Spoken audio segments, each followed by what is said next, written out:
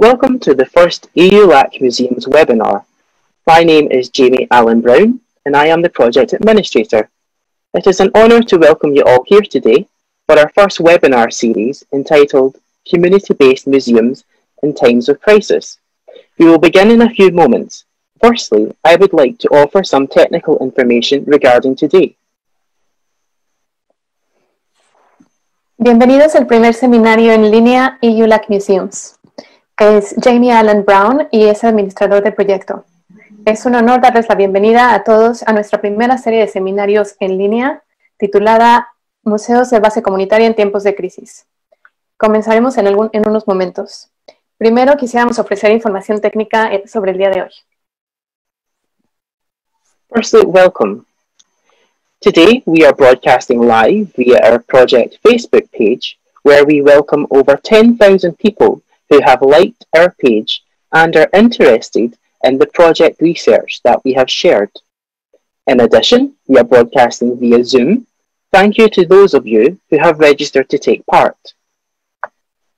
Estamos transmitiendo en vivo a través de nuestra página de Facebook del proyecto, donde damos la bienvenida a más de 10.000 personas que siguen nuestra página y están interesadas en la investigación que el proyecto comparte.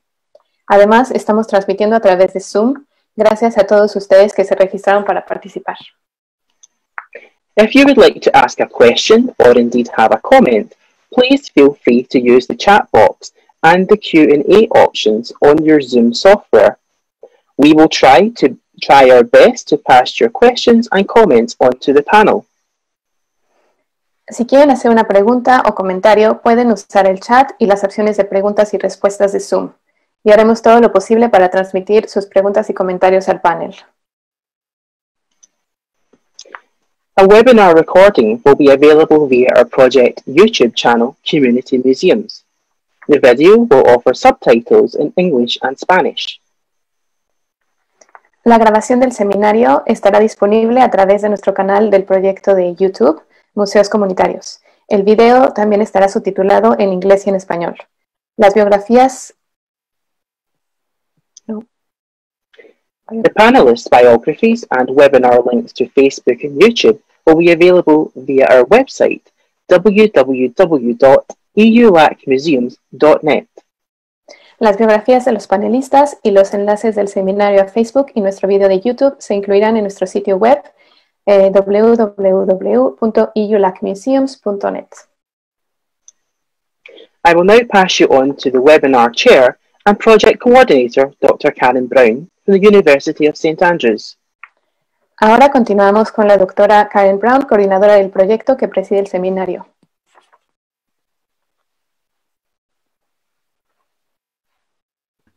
Hola, buenos días a todos. Can you hear me, Jamie? Yeah. yeah? Yes, you're live. Yeah. Okay, gracias. Hola, mi nombre es Karen Brown y soy coordinadora del proyecto EULAC Museos y profesora a la Universidad de San Andrés in Escocia. In response to the COVID-19 pandemic and its catastrophic effect on museum and heritage communities, this is the first of three webinars in our series focusing on the topic of community-based museums in times of crisis. Since 2016, EULAC Museums has supported community-based museums in partnership with the European and Latin American and Caribbean regional alliances of ICOM. However, in each year of our project's existence, we've weathered a number of difficult circumstances, including the impact of El Niño Costero in Peru in 2017, the hurricanes in Costa Rica and the Caribbean in 2018, the civil unrest in Chile in 2019, and now the most recent unprecedented pandemic in 2020. We took stock of some of these crises during a roundtable held in the University of the West Indies in November 2018. Today's webinar has attracted over 600 people from six different continents, including the countries of Guatemala, Ireland, Latvia, Guyana, Honduras, India, New Zealand, the Philippines, and the USA. Our meeting today is an illustration of how telecommunications, along with the vast networks of global trade, transportation, are making us more interconnected than any other time in our history. The way that we as human beings relate to each other, the way we relate to our natural surroundings, seems to be changing exponentially. But when disaster strikes, we have an opportunity to overcome and reconsider our priorities towards a more secure and sustainable future. In the words of Chilean um, principal investigator Karin Weil, by highlighting their social function, museums can take on a relevant role in the containment, reflection, and memory of crises when they are over.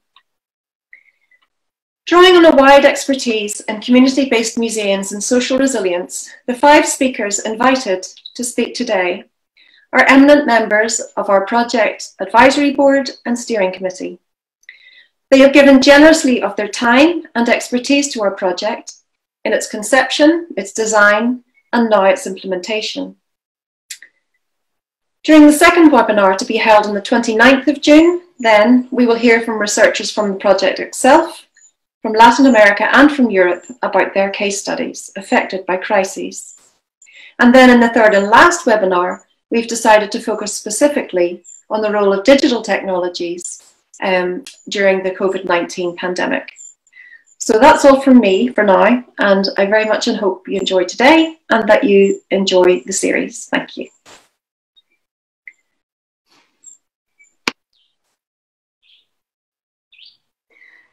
Good day to everybody. My name is Lauran Bonilla uh. I am professor at the University of Costa Rica and a member of the steering committee of this wonderful EU LAC Museums project. Um, it's been a, been, been a great honor to be part of this entire process, and we thought it was a great idea to put together this webinar today. Um, I will be presenting each one of the speakers, um, and I will be presenting them prior to um, each of their interventions. Uh, so I just wanted to reiterate what Karen mentioned. Um, each one of our speakers is one of our beloved members of the advisory board or um, the steering committee. And as I mentioned before, I will be introducing each of them um, prior to their intervention. Nonetheless, um, we begin today with uh, on a sadder note and wanted to be able to um, take the opportunity to speak in the name of a beloved colleague of ours who shockingly um, and very sadly recently passed away. Um, Luis Repetto, known by his friends and colleagues as Lucho, was a passionate and lively man who passed away just two, two days ago. When it came to culture and her heritage, Lucho was all in. He first studied business administration because he didn't want to be known as a hippie and then his love of anthropology and ethnography led him to continue his studies in Mexico and down the path toward a career in museums and heritage preservation. He worked tirelessly for years in the National Institute of Culture as the director of the Museum of Popular Arts and Tradition in the Catholic University of Peru. I remember him clearly, and one night, two, uh, clearly one night two years ago, over dinner in Paris with Latin American ICOM colleagues, where he shared with us, giddy with a childlike excitement, the news that his museum would finally be getting state-of-the-art display cases for, our, for his collection. This museum was his second home, and even after he retired, he couldn't be kept away. Lucho is remembered lovingly within his native Peru as El Señor de los Museos, or the museum's man, having continuously inspired the public to visit museums through his very entertaining television program, Museos Puertas Abiertas, Open Doors Museums. This program, which began in 2010, was very important to Lucho's heart-held belief that culture and museums should be put within the public's reach. As the, as the Peruvian Minister of Culture, Alejandro Neyra, highlighted, he sought for culture to reach all Peruvians. His dedication to this endeavor led him to create a new format for the more modern, uh, for a new television program called Museum Without Limits for this year, which was less formal, more modern, and virtual. Unfortunately, it had to be postponed due to the COVID pandemic, and now will sadly never be aired with him. Lucho worked arduously for the preservation and conservation of folklore and intangible heritage. Many had the pleasure of watching him happily performing as he promoted La Marinera, Peru's national dance, bringing together various generations through this form of shared tradition. He was a great believer in the democratization of museums as public spaces open to all, and always sought to support small or little known museums. He was an integral and pioneering member from Latin America within the ICOM family. It was greatly thanks to his drive that Spanish was adopted as one of the three official languages of the organization, thereby opening the world of ICOM to more colleagues within the region. With great shock and sadness, I received the news of Lucho's passing. It truly feels like Peru, Latin America, and the world has lost a true warrior in the cause of heritage preservation. Fortunately, he will accompany those of us who had the good fortune of knowing him in our memories, and the many recordings of him that remain will continue to inspire us to better mediate within our shared cultural spaces. Thank you and goodbye, dear Lucho. And I quote, we will never be the same as we were before this loss, but are ever so much better for having had something so great to lose. Luis Repetto, conocido por sus amigos y colegas como Lucho, era un hombre apasionado y animado. En lo que respecta a la cultura y el patrimonio, Lucho estaba completamente inmerso.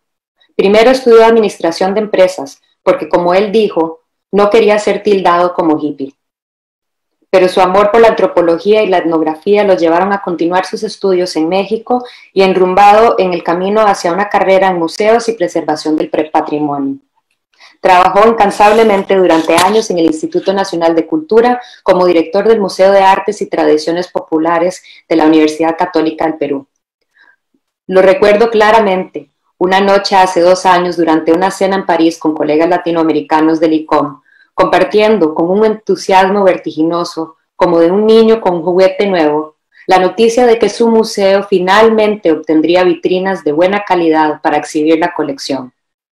Este museo fue su segundo hogar e incluso después de retirarse no podía mantenerse alejado. Lucho recordaba amorosamente dentro de su Perú natal como el señor de los museos y ha inspirado continuamente al público a visitar los museos por medio de su muy entretenido programa de televisión Museos Puertas Abiertas. Este programa, que comenzó en el 2010, reflejaba la creencia sincera de Lucho de que la cultura y los museos deberían ponerse al alcance del público. Como destacó el ministro de Cultura peruano, Alejandro Neira, buscaba que la cultura llegara a todos los peruanos.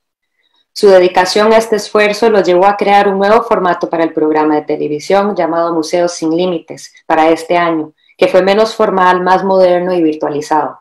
Desafortunadamente, tuvo que posponerse debido a la pandemia del COVID y ahora lamentablemente nunca se transmitirá con él. Lucho trabajó arduamente para la preservación y conservación del folclore y el patrimonio inmaterial.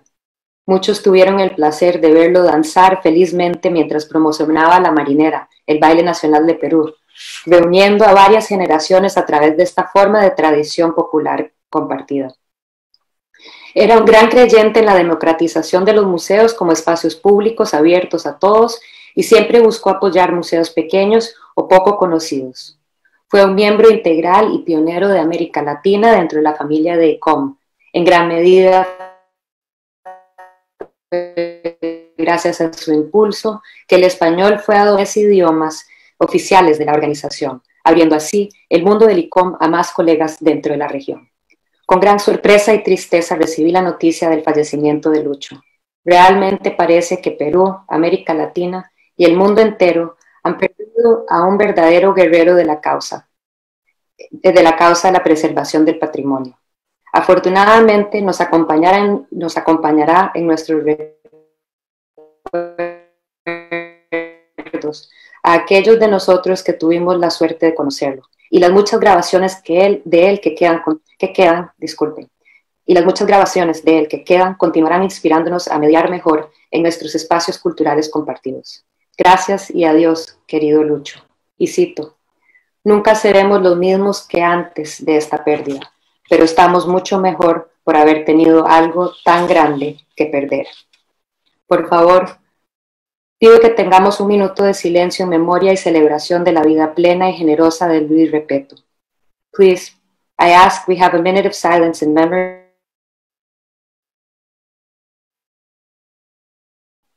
Gracias.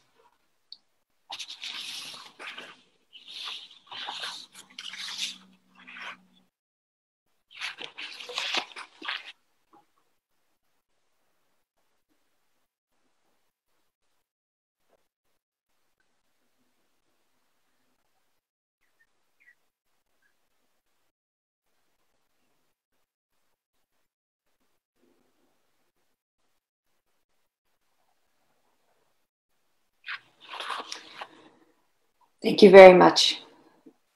Luis was a very, very um, beloved principal investigator of this project and also of ICOM and ICOM LAC in general. He will be greatly missed.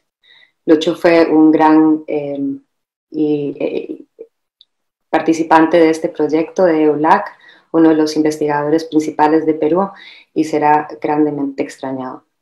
Eh, seguiremos ahora entonces con nuestro primer ponente, we will be continuing now with our, our keynote speaker, Hugh de Varine. Hugh de Varine is a former, thank you very much, Jamie. Hugh de Varine is former director of ICOM from 1965 to 1974, leading the organization during a time of increased internationalization and modernization of museum concepts. It was during this time that ICOM was behind the organization of, 19, of the 1972 Roundtable of Santiago de Chile, which, which subsequently led to the Eco Museum movement. Within France, he has been an agent of change, leading many projects of local, rural, and urban development, working with natural and cultural heritage as well as youth programming to promote sustainability. He is a national and international consultant in local and community development and a researcher on heritage practices and policies. Among his valuable publications all of which he has generously made available on his website, are The Culture of Others from 1976, The Community Initiative 1991, and Roots of the Future 2002. Hugh is an integral member of the advisory board of the EU LAC Museums project, and we welcome him to our webinar series today. Thank you, Hugh.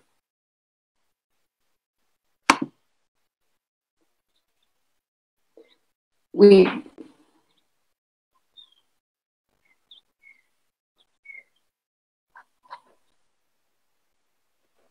Do I have to speak? Yes, now, now we can hear you. Thank you so much, Hugh. So you hear me? Yes, we hear you perfectly. Thank you very much. Well, thank you, but uh, I, I feel very important, but unfortunately I'm a little, little old for adapting to this kind of technology. So uh, I feel I feel uh, ashamed. I feel uh, shy and uh, I don't know I don't know what uh, how I can speak in front of my uh, my computer. Uh, well, I have prepared something, uh, but uh, I think I've skipped most of it to keep with the, the time allowed and just to to tell the to explain five or six points which I had prepared, uh, which I it came. It's a, a list of uh, of themes which I collected from the various various cases, various experiments, various experiences which I heard about in the last in the last few weeks uh, while I was I was uh, locked out in uh, in my home uh, in France. But I had that on the on the internet and I can just just mention mention them. Uh, in fact, I think that uh, community museums are much better equipped to cope with uh, the with the crisis like like the the, the pandemics we have now. Um, much better equipped for because they are they are not they are not a building, a collection, and a public made of tourists. They are made made by and of the community. They are linked with the community and with the territory, with the landscape, the heritage.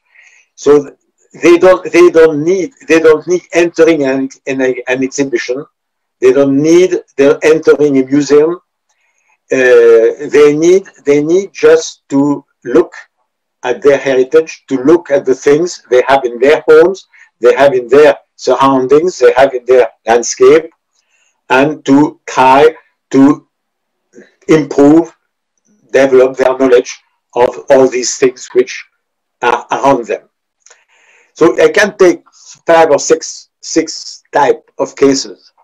One, of course, the, the, the community museum has to serve its community, the population, the people, the families, the citizens, etc. And if I can take uh, the first example, which is not from a, a sanitary crisis, which is from a case, a crisis, uh, the, the, earthquake which happened in 1976 in Gemona del Friuli in, in Italy, in Italy uh, since 1976, the, the, the, the memory, uh, there is a risk that the memory of the earthquake fades.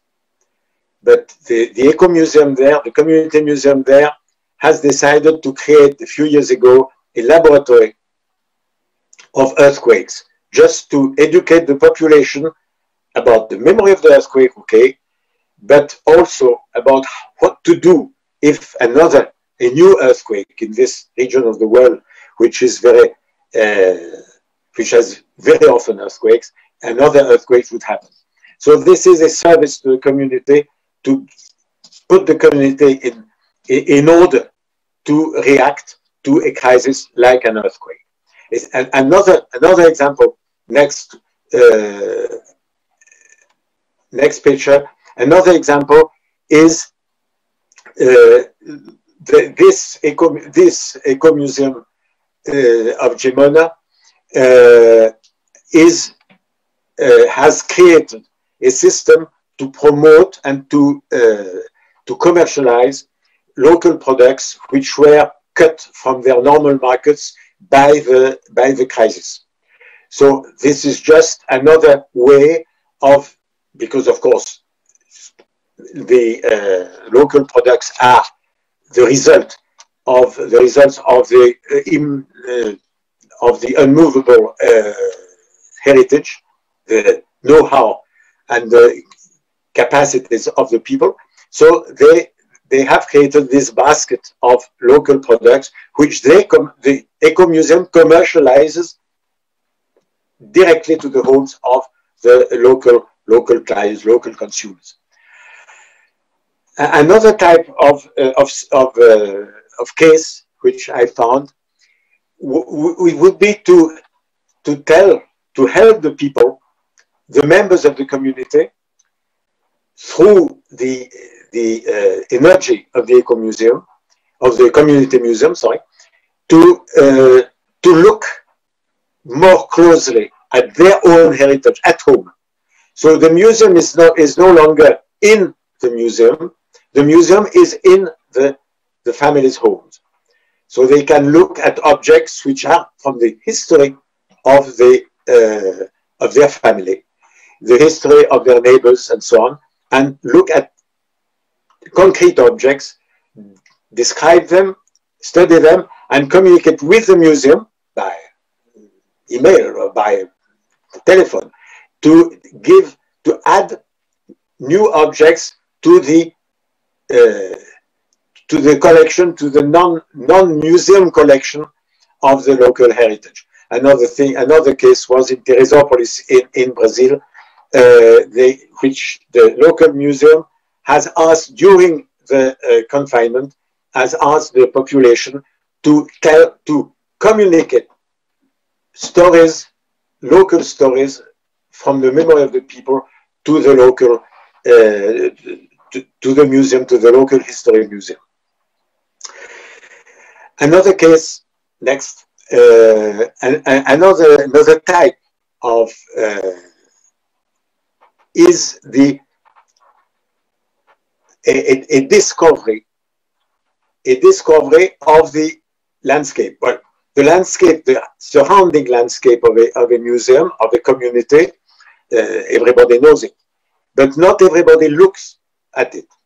So the uh, Eco Museum Parabiago in near Milan in, in Italy uh, has created, is every year has had a, a, film festival dedicated to the valley of the river Olona, which cross, crosses the, the, the, small region. And this, uh, this film, this year, because of the, of the crisis, this film has been put on screen. So everybody in the community uh, is able to look at the films about the, the valley and the heritage of the natural and cultural and industrial and economic uh, heritage of the valley uh, at home. So this is a way of uh, keeping people looking at their own environment, at their own uh, uh, community.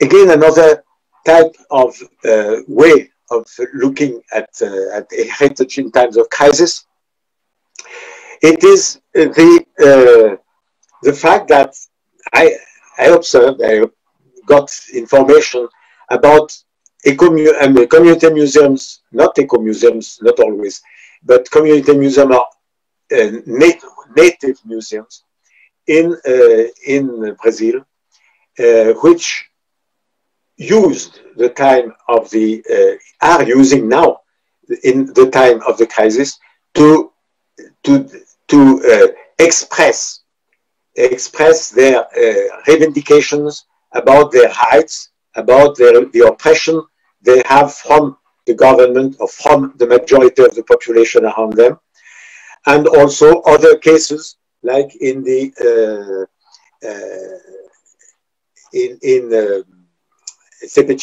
Rio de Janeiro. Next uh, slide.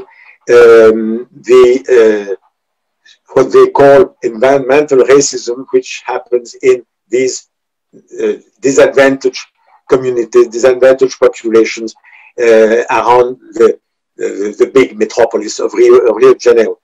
Uh, in that case, this is the, the, the community museum is defending defending the rights of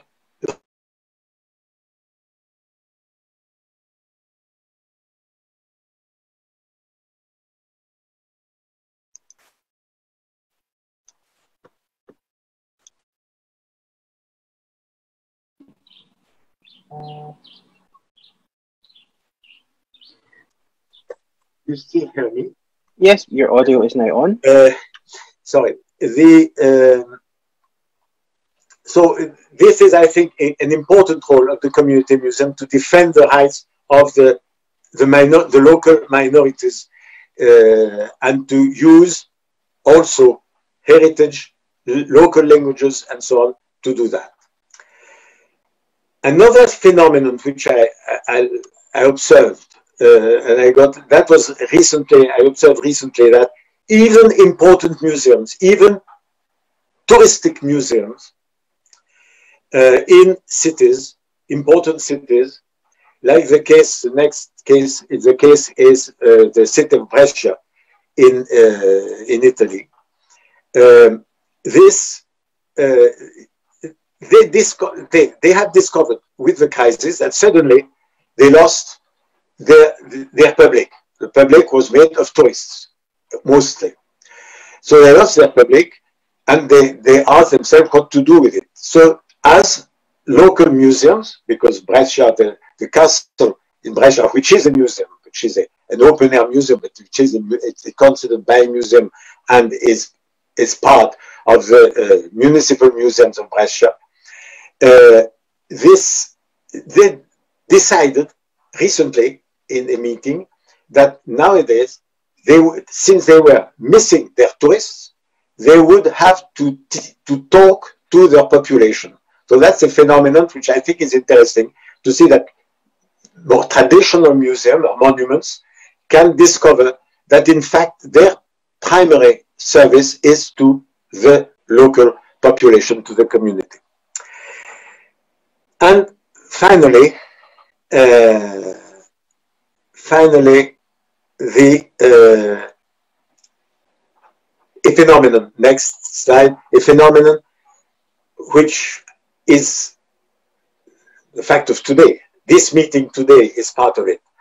The fact that this this technology, technology which I, I don't like, and which I don't know how to use well, but this technology, the web technology, the internet, etc., this has made possible for local people, for local museum, for local museum people, uh, whether uh, professionals or uh, volunteers or local people in general, to teach to others to teach to other museums, to exchange, because until then, I remember when I was with ICOM, the small museum were ne never attended, never attended the international meetings. They never met with their colleagues, were there, the, the same the same professionals from other countries or even in the same country from another part of the country. Now, these, these little people, all of you, people who, who work on the field all, the, all day. Uh, these people, they, they are no, no longer obliged to pay, to pay for, for trips abroad, to pay for hotels and so on. They can, they can discuss, they can each. what we, you'll do now, but I have four or five uh, cases I heard of uh, recently uh, uh, of that. So I think this is one of most most important things which we gained from this crisis, which is the capacity, the, know-how, to know how to talk to each other and to exchange experience. Here is just a, an, an, example of uh, what was made by the French Federation of Eco-Museum and uh, Society Museums to uh, show the various categories of activities developed by their members in uh, during the during the crisis. So this is, I think, this is something at least this is a very positive thing of of this crisis that your museums are able to do new things, to create new activities, to develop new new concepts, thanks to the uh, both to the, the crisis itself and to the technology developed because of the crisis. Thank you. Thank you so very much, Hugh. Um, we really appreciate your words. We thank you so much for um, making the effort of speaking to your computer, but know that you are speaking to people from all around the world. We have participants who are joining us from Iran, from Barbados, from Mexico, from Austria, from Argentina, from Italy, from Kuwait, from Indonesia, from Aruba. So the list continues of all of those people who you've managed to inspire with your work. So thank you very much. Um, I just wanted to remind our listeners that we are also um, welcoming you to submit your, your uh, questions at the end of the session, we'll be opening up a question and answer period. So we just want to make sure that you're all aware of that and you can send us your questions through the chat. Um, thank you, Hugh. We move on now to our next speaker, Teresa Morales. At Dartmouth College in the United States and then Mexican history at the National Autonomous University of Mexico, the UNAM. Uh, since 1981, she's been a professor and researcher at the National Institute of Anthropology um, and History of Mexico at the INAH, the famous INAH. Together with her husband, Cuauhtemoc um, Camarena, she has helped establish 24 community museums in the state of Oaxaca, uh, providing tools for local communities to create sites to strengthen identity and collective memory. Both have also helped create grassroots networks, including the Union of Community Museums of Oaxaca, the National Union of Community Museums and Eco-Museums of Mexico, and the Network of Community Museums of America, which brings together community museums from Mexico, Guatemala, El Salvador, Nicaragua, Costa Rica, Panama, Colombia, Venezuela, Peru, and Bolivia. Teresa is a valued member of our advisory board of the EU LAC Museums project, and we welcome you today, Teresa. Thank you very much. Well, Thank you, uh, Lauran, to the team of EU-LAC for this opportunity. Um, and I am going to try to speak from the perspective of the community museum movement, as, as Lauran just described. The networks that have been uh, constructed have been built in, in, Latin America and Mexico and many countries in, in Latin America. And I'd like to start with some elements of context. Let's see maybe the next slide and just say very quickly that uh, as our teams have been reflecting on what's been happening during this crisis, the COVID-19 pandemic, one thing that has uh, become very clear to us is that the structural contradictions that have been there, have been in place for many years, are being revealed in a more dramatic way. They're becoming more evident. Uh, the conflict of interests and the extreme inequalities between regions, between countries, between communities. Uh, this is something that we can see very in, in a glaring, glaringly evident way as this crisis is progressing. Uh, next, please. so, you know, we can ask these questions that'll help us as, you know, just uh, see the situation, who has access to uh, health services that are uh, quality health services? What's been the impact of the privatization of health services throughout the world, which has been going on for a long time? Which countries have uh, higher quality infrastructure, and why is that? Who's controlling or will control the production of a vaccine for this COVID 19 uh, uh, illness? So these are questions that uh, help us see the tremendous uh, imbalance in power and how this is affecting the whole world. Next, please. And this also makes us consider what the underlying causes for this crisis is. Uh, what are the processes of destruction of ecosystems, of local territories that are uh, being carried out in these years and what's behind this? A system, a neo-colonial system and world order that is sacrificing human well-being to the accumulation of capital and that is destroying communities that have their own way of life. Next, please. And many of these uh, underlying causes have to do with uh, or we can ask, what, what are they? And it will take us, I think, to uh, look at imbalance in ecosystems throughout the world uh, and the, the, tremendous destruction that's being uh, uh, that's happening as a result of global warming and other processes, and how this is affecting and destroying local communities. Next, please. And in this context, we can also see that there is great resistance, there's strength in the local communities, and there's a capacity to struggle against these destructive forces and to uh, sustain their connection to their territory and to their own way of life and the sources of meaning of their particular experience. And this is also something that's becoming more evident. I think uh, maybe we can even see this in protests that have to do uh, the very recent protests of, over uh, police brutality and racism. Uh, there is a great strength in people wanting to affirm what is truly valuable in their lives and what, uh, what is meaningful to them. So this capacity for resistance is also coming, coming forth. Next, please.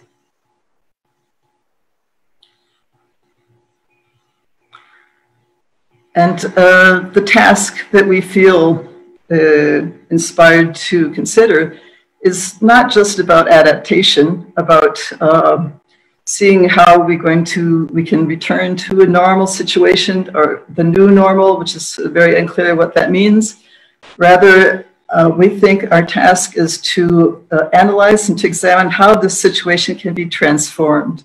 Not to adapt, but to transform the situation to contribute to the transformation of the situation in the, in the big or small ways that we can to contribute to a deeper change. Next, please. And in this sense, uh, what is the role of the community museum? And here I'd like to refer to a document that the network of community museums uh, elaborated in their last meeting in Colombia in 2018. And it says that uh, we understand our community museums as key elements to articulate the voice and perspective of our communities as they face current global processes. They are a collective tool for our communities to defend our rights as peoples. Next, please.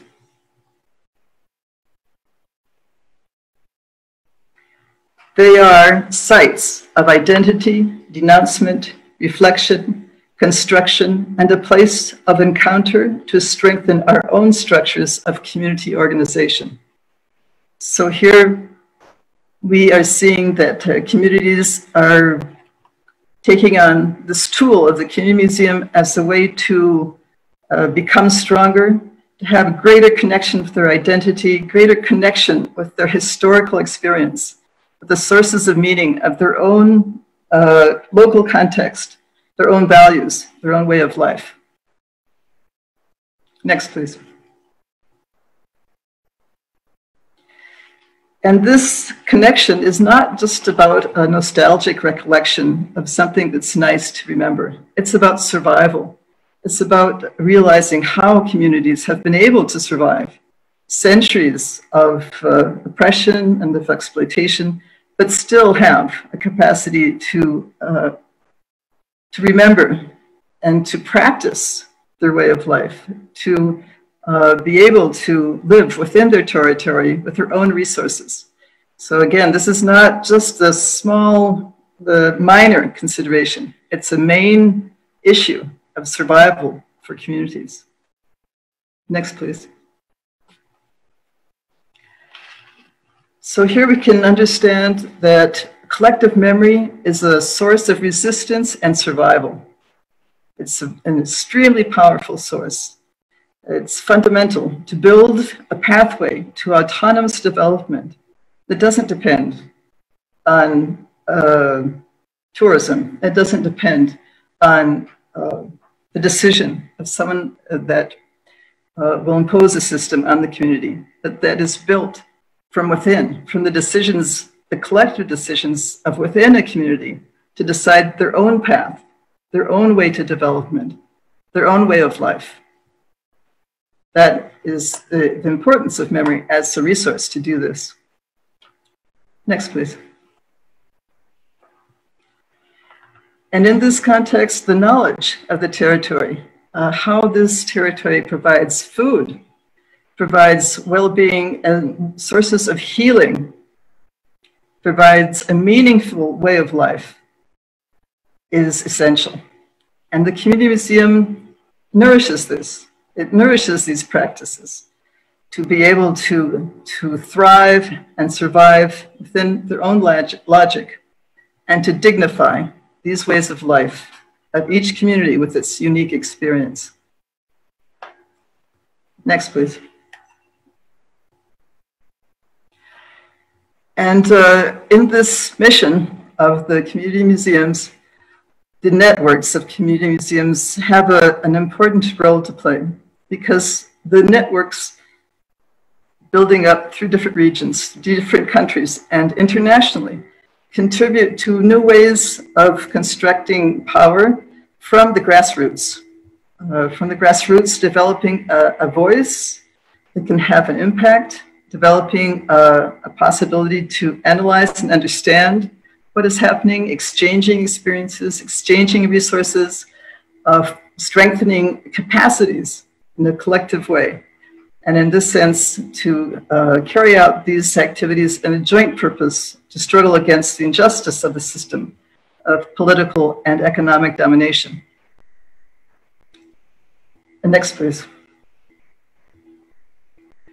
And just as uh, Hugh was mentioning, the tools that are now available in terms of connecting through the internet and connecting virtually are becoming extremely important. And uh, I'd like to mention that the Network of Community Museums of America, throughout these months that we've been uh, in confinement, has been meeting virtually and has been developing its own analysis, uh, training for the members of the network, uh, planning events, uh, planning uh, things that we can do together.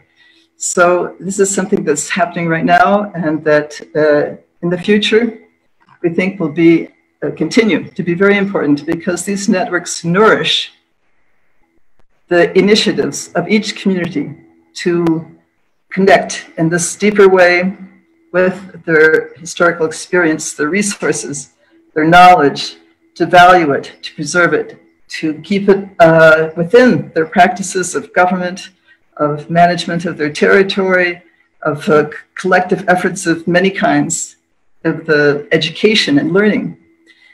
All these uh, extremely important aspects of uh, practices that can strengthen local communities are nourished by the networks that can uh, offer resources in terms of vision and capacities to fulfill these extremely important tasks.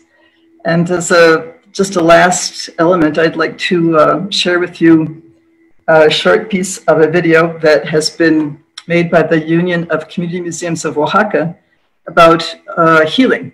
Within these uh, months of confinement, the union has uh, designed or created this short video by the contributions of each community that sent uh, uh, information about the, the plants and the practices of traditional remedies that they have that can be used to be stay healthy in this very difficult time. So just as, as one example of things that can be exchanged and uh, nourished by collective initiatives and has been by the network here at, uh, in Oaxaca, I'd like to show you a small, a small piece of this video.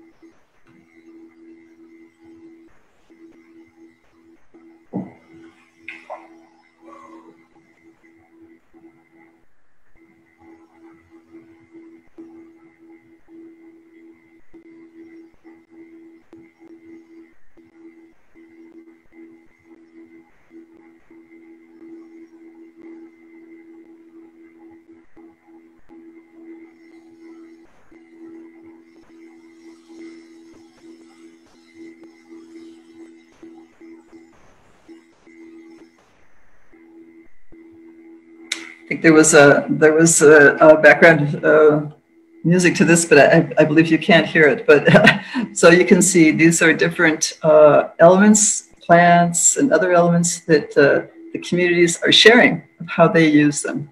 These are things they have in their territory, in their own communities, their own homes, and their own fields. And uh, they're sharing the knowledge of how to use them in order to stay healthy. So that would be uh, one small example of the many, many things that can be done in this, in this context and uh, within the mission that we're describing for the strengthening of local communities. So thank you very much.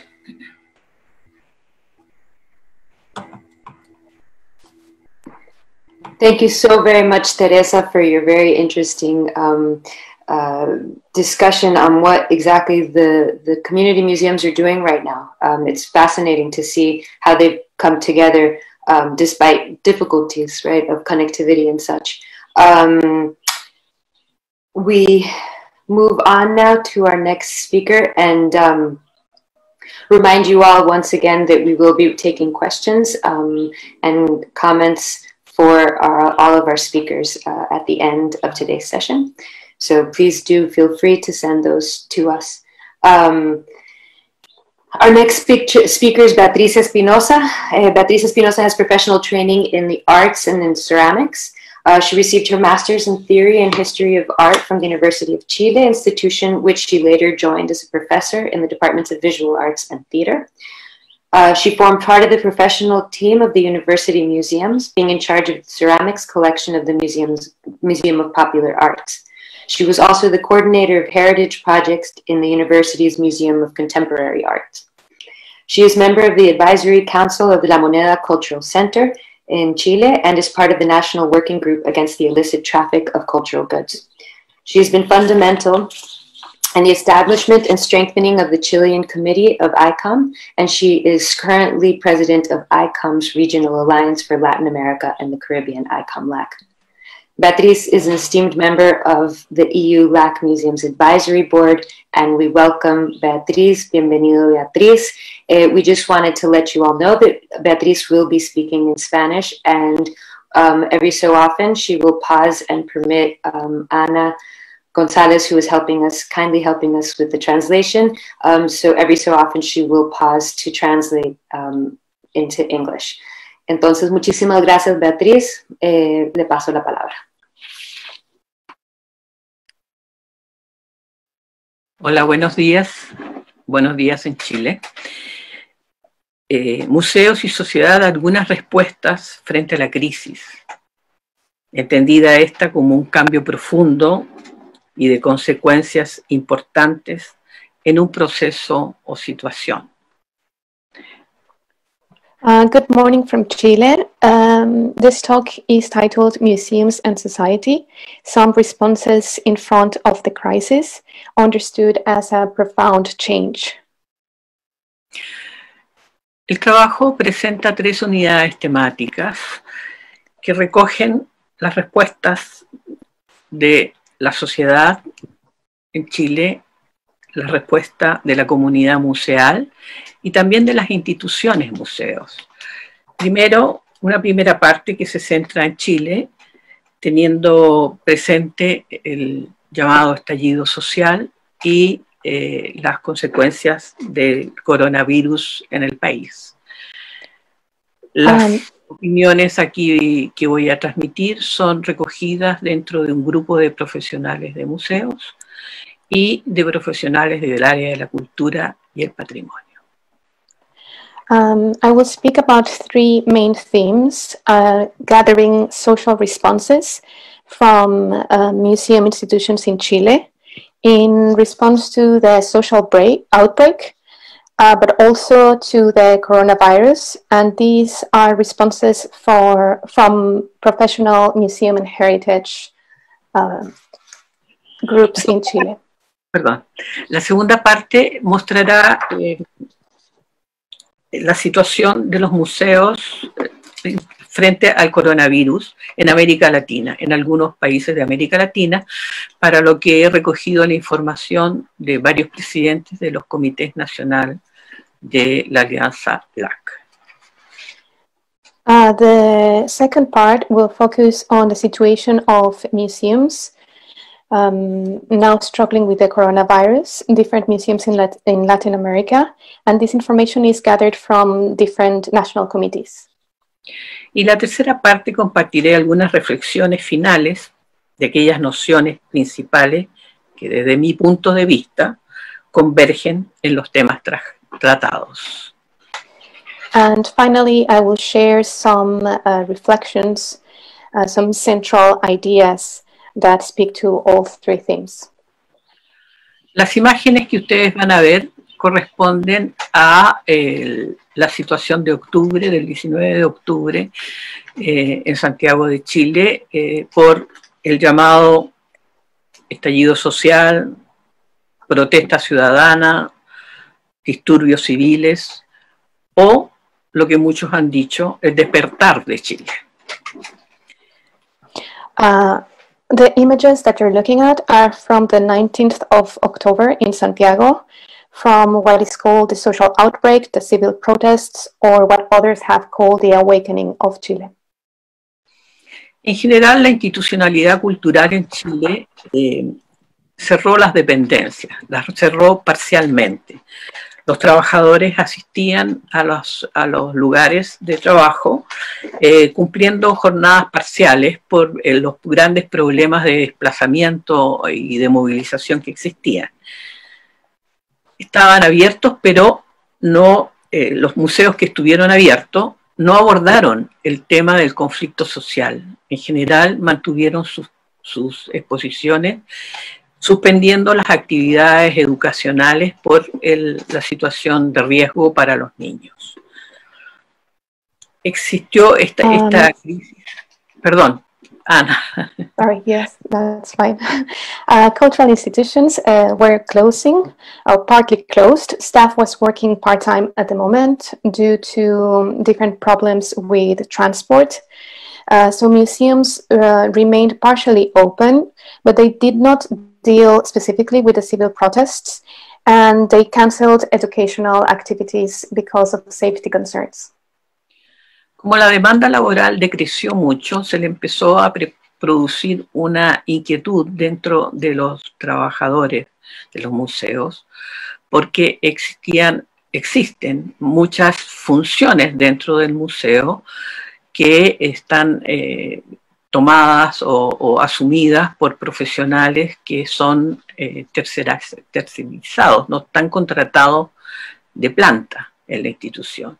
Y entonces, como se suspendieron muchas actividades, esos programas se suspendieron también. Uh, staff were concerned about uh, different activities from the museums that are carried out by fixed term or precarious workers. And they were very concerned because of all of this activity being cancelled.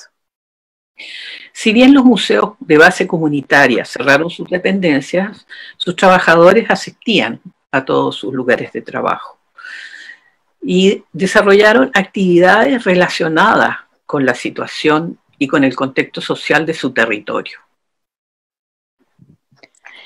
Um, if um, community-based museums were closed to the public, their staff kept working and organizing activities in response to the situation and immediate context.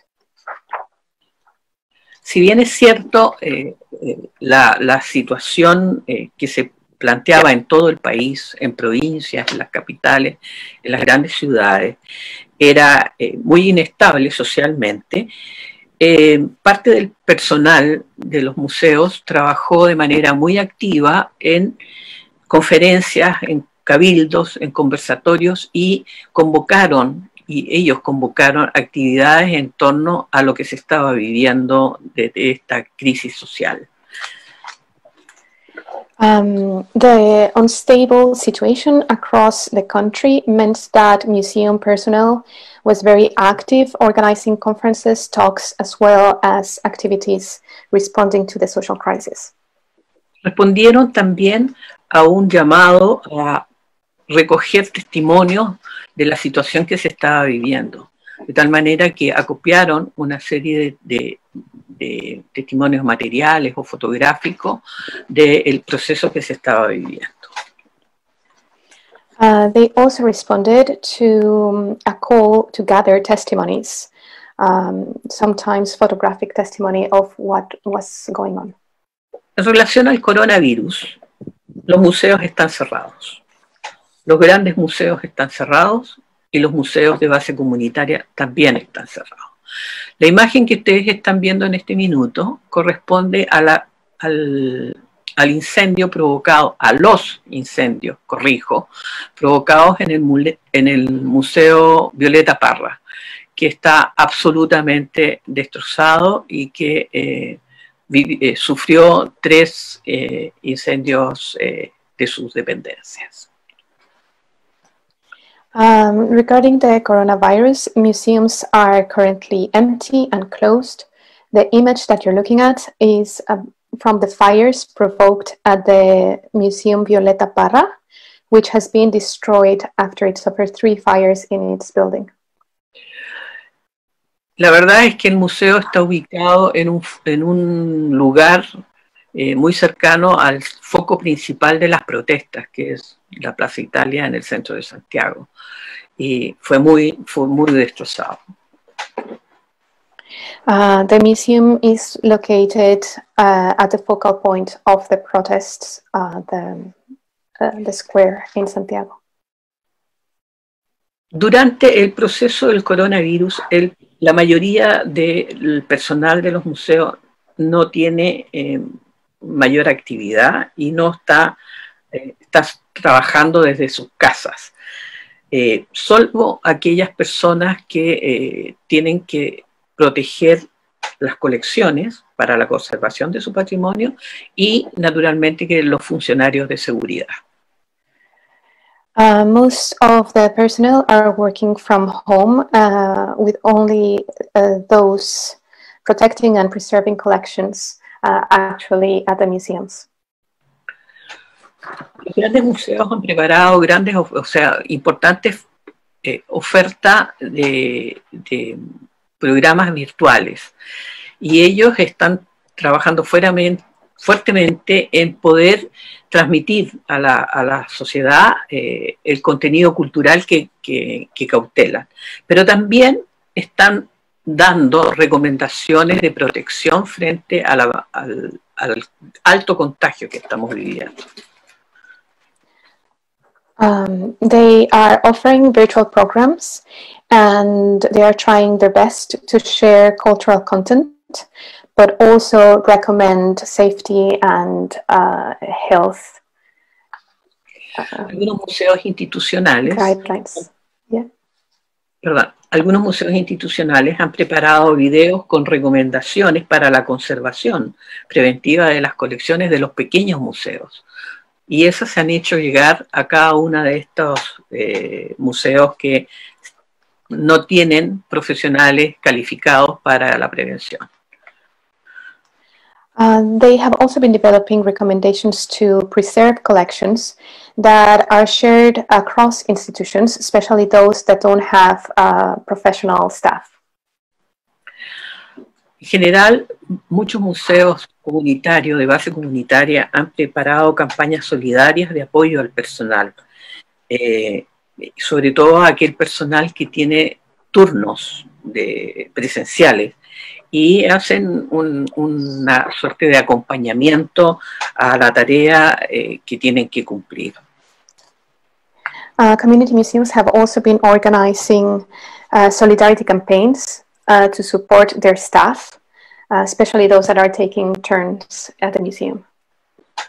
Una observación interesante se ha aprendido desde eh, la oferta eh, virtual que, se, que están trabajando los museos que tienen tecnología para, para desarrollarla. Ellos han aumentado importantemente cierta vinculación con el público y se ha establecido de alguna manera una relación bastante virtuosa. Um, it's also interesting to note that with the virtual offering uh, from those museums that have access to this technology, they are getting closer and closer to their audiences. Ahora, esta oferta virtual, de alguna manera, eh, nos señala una cierta exclusión social, porque los pequeños museos, los museos de base comunitaria, no cuentan con, con los equipos necesarios para asumir esa tecnología, ni tampoco cuentan con los profesionales para que asuman ese trabajo. Uh, this virtual offering, however, points to a social uh, exclusion because small museums don't have the technical equipment or the staff to, to offer virtual programs. Otra observación importante que aparece en, las respuestas es que eh, existe mucha inquietud en los museos, eh, en todos los museos, una vez que se vuelva al retorno de la vinculación social, porque la crisis eh, que, se está viviendo ha demostrado que de alguna forma eh, existe una, una, rebaja presupuestaria dentro de las, de las instituciones que financian. Y eso ha producido eh, despidos y reducción de personal significativo. Uh, museums are also concerned uh, about returning to normal conditions because the crisis demonstrates um, some budget cuts and very low budgets that have um, that have a lot of pressure on institutions and that has also meant losing some of their staff. Las medidas que se han tomado frente al coronavirus para eh, rebajar y evitar el contagio han generado una baja considerable de la participación activa laboral, lo que ha generado un problema económico importante, ya que una parte muy importante de los ingresos del país están paralizados. Uh, the measures taken to slow the spread of coronavirus means that there is less people working and it has a very strong impact on the country's economy. Y, y, y podría decir que, podemos decir que los trabajadores de los museos en general tienen una inquietud y una preocupación por su estabilidad laboral eh, y por el futuro incierto que de alguna manera se anuncia. Um, museum workers are very much concerned about their work stability and the uncertain future that the crisis poses. Muchos consideran que el, la, la, la, los museos debieran de alguna forma replantearse sus, su desarrollo, su orientación, la línea de trabajo que tienen. Eh, pero no es fácil, es precisa eh, de recursos, precisa de equipos profesionales y también precisa de una decisión de las autoridades. Um, some think that museums must rethink their mission and their development, but this is not easy. It takes a lot of resources, it takes uh, teams working together, as well as uh, authorities working with museums. Los museos comunitarios están cerrados y tienen muy poca actividad, han redireccionado algunas de las actividades y están confeccionando mascarillas y delantales para la comunidad que, que, al que pertenecen. Y además se han transformado en un foco de información social en su, en su grupo eh, y en su territorio. Um, community museums have also redirected their activities, for example, to produce face masks to their communities, and they also work as a focal point for information. Como estos museos comunitarios son independientes, no dependen del Estado ni dependen tampoco de una institución, tienen bastante más libertad. Eh, eso hace que el presupuesto eh, que ellos manejan no dependan de nadie, lo que le da cierta libertad de decisión. Sin embargo, hay varios museos comunitarios, museos de base comunitaria que pertenecen a instituciones eh, regionales, municipalidades, en fin. Y esa este, existe en esos, particularmente en eso, cierta incertidumbre de la continuidad del, de la institución. Um, community museums uh, are often independent uh, from any state or other institutions, and in that case, they can use their budget as they wish. Uh, although some other community museums do belong to regional institutions, and they face more uncertainty about their future. Una situación que, me parece importante destacar es eh, en los museos de base comunitaria, el personal vive, algunas personas viven una suerte de crisis emocional porque no pueden asistir a su espacio de trabajo.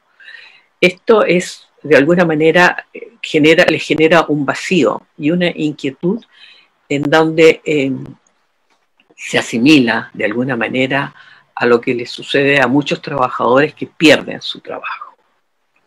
Um, uh, also, she's noting that within community-based museums, people are suffering sometimes from an emotional crisis because they cannot uh, be at their workplace. So this emotional crisis is similar to those losing their jobs.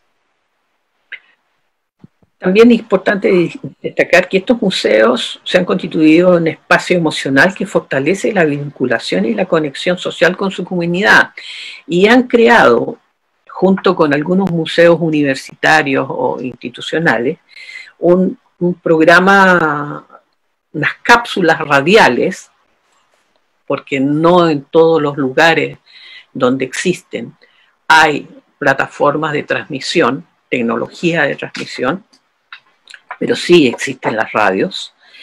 Eh, hay un programa muy interesante llamado Las Voces del Museo, que son, como les digo, cápsulas museales, que eh, a través de, de, radios, de redes de radios universitarias y redes de radios comunitarias, están transmitiendo eh, los contenidos del museo, pero también están transmitiendo la, la, la actividad de la comunidad. Um, museums have a very strong emotional bond with their communities. Uh, often they have created some radio capsules. And as an example, she's speaking about a program called Voices from the Museum, which is shared across networks, sharing content from the museum and from the community. Diría que uno de los grandes problemas que plantea para los trabajadores de los museos eh, el coronavirus, la situación que estamos viviendo, es eh, la crisis laboral. La crisis laboral ha generado una inestabilidad y, y de alguna manera un, anuncia un futuro muy incierto para todos los equipos de, o mejor dicho, no diré todos, sino más bien para muchos de los equipos de trabajo.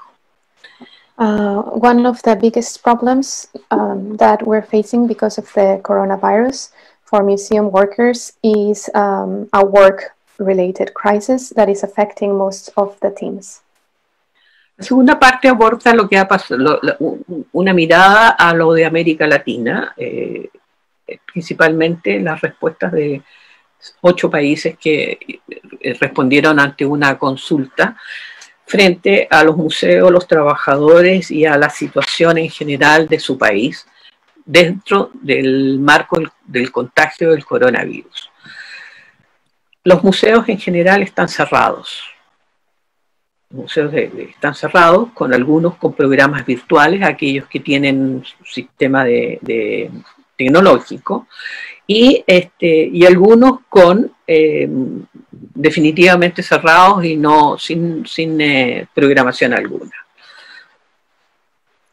Uh, now, for some responses from eight countries from Latin America regarding the spread of the coronavirus, sorry, um, a lot of them remain closed, some of them be with virtual programming, and others completely closed. La mayoría están trabajando desde sus casas, diseñando programas virtuales o dando recomendaciones al, al, a las eh, personas, preparando exposiciones, preparando conferencias, videos, eh, en fin. Se han producido en algunos casos eh, mucha, mucha actividad digital y podríamos decir que solamente se repite la situación de Chile, que solamente los profesionales o los trabajadores del área de seguridad están asistiendo a, a los edificios. Uh, most uh, people keep working from home, um, developing virtual programming and some recommendations for their communities. There's a lot of digital activity, and we see, as in the case of Chile, that only security personnel is attending the, the museum buildings. Frente a la pregunta de la inquietud que puedan sentir algunos trabajadores por la situación que están viviendo, eh, gran parte están, claro, existe gran inquietud y gran intranquilidad por el recorte presupuestario a la cultura en muchos países. Sin embargo, hay, dos países, Cuba y Venezuela, que no tienen inquietud, ya que los trabajadores son contratados de planta por el Estado y eso les genera una estabilidad laboral la, la, ley del trabajo en Venezuela y en Cuba protege al trabajador y le da continuidad a su, a su desempeño. Um, regarding the concern of workers because of the budget cuts to culture in different countries, uh, that's not the case, for example, in Cuba and Venezuela, where they have permanent jobs guaranteed by the state who protects uh, these workers. Frente a la consulta cómo están los museos de base comunitaria o los pequeños museos, la respuesta general es que están mal, con muy pocos recursos, muchos de ellos se sustentan por el turismo y el turismo está suspendido, y, eh, pero sí desarrollando algunas tareas frente a, lo que viene, preparándose de alguna manera para la reapertura cuando todo se normalice. Uh, regarding small museums and community museums, they are doing in general badly with very few resources and they often rely on tourism, which is now suspended. but they are concentrating now on getting ready and prepared to reopen. Frente a si existe algún factor positivo en, ante esta, esta situación, eh, la mayoría contesta que ha sido un estímulo y una obligación para despertar la creatividad frente a la comunicación con su público. Eh, en general, los trabajadores han mostrado un alto grado de compromiso reinventando y colaborando con los recursos que cuentan. Y este, cabe destacar también en algunos casos una amplia participación de las regiones, de las provincias, porque la comunicación les llega eh, desde las capitales, puede llegar a provincias y eso de alguna forma ha producido una comunicación mm, muy fortalecida. Um, um, when asked if there is a positive side to the situation, museums often speak about the need to come up with creative ways to communicate with their audiences. Uh, they feel very much committed to use their resources as much as possible, as well to strengthen uh, regional communication. Frente a la consulta de cuál ha sido la, respuesta del público, hay variadas. Hay, hay, países que han tenido una muy buena respuesta del público y muy dinámica de participación con, con los programas, pero hay otros que tienen eh, una respuesta parcial. No, no, más bien cuentan con un público cautivo que los, que los sigue y que, y que de alguna forma se mantienen eh, vinculados a ellos. Uh, responses regarding their the audience are very varied. Uh, some reporting very high levels of engagement, and others not so much, just uh, keeping up with their usual uh, Como comentario general, ellos apuntan a que no estamos preparados y que no todos manejamos la tecnología. Uh, they also comment that they, they feel not everyone is prepared and not everyone manages the technology. Se ha despertado la alarma y la necesidad de estar al día en el uso de las nuevas tecnologías y de acercarnos de manera creativa eh, con este recurso con este, o con esta herramienta. Um, there is um, very urgent need to use these technologies um, creatively. Hay quienes piensan también que eh, como, como algo positivo que esta, esta situación va a enriquecer la suma de profesionales que trabajan en los museos, porque necesariamente va a haber que integrar a los profesionales del mundo digital. Uh, another positive side is that this might enrich museum personnel with bringing in people that work on the virtual um, programming.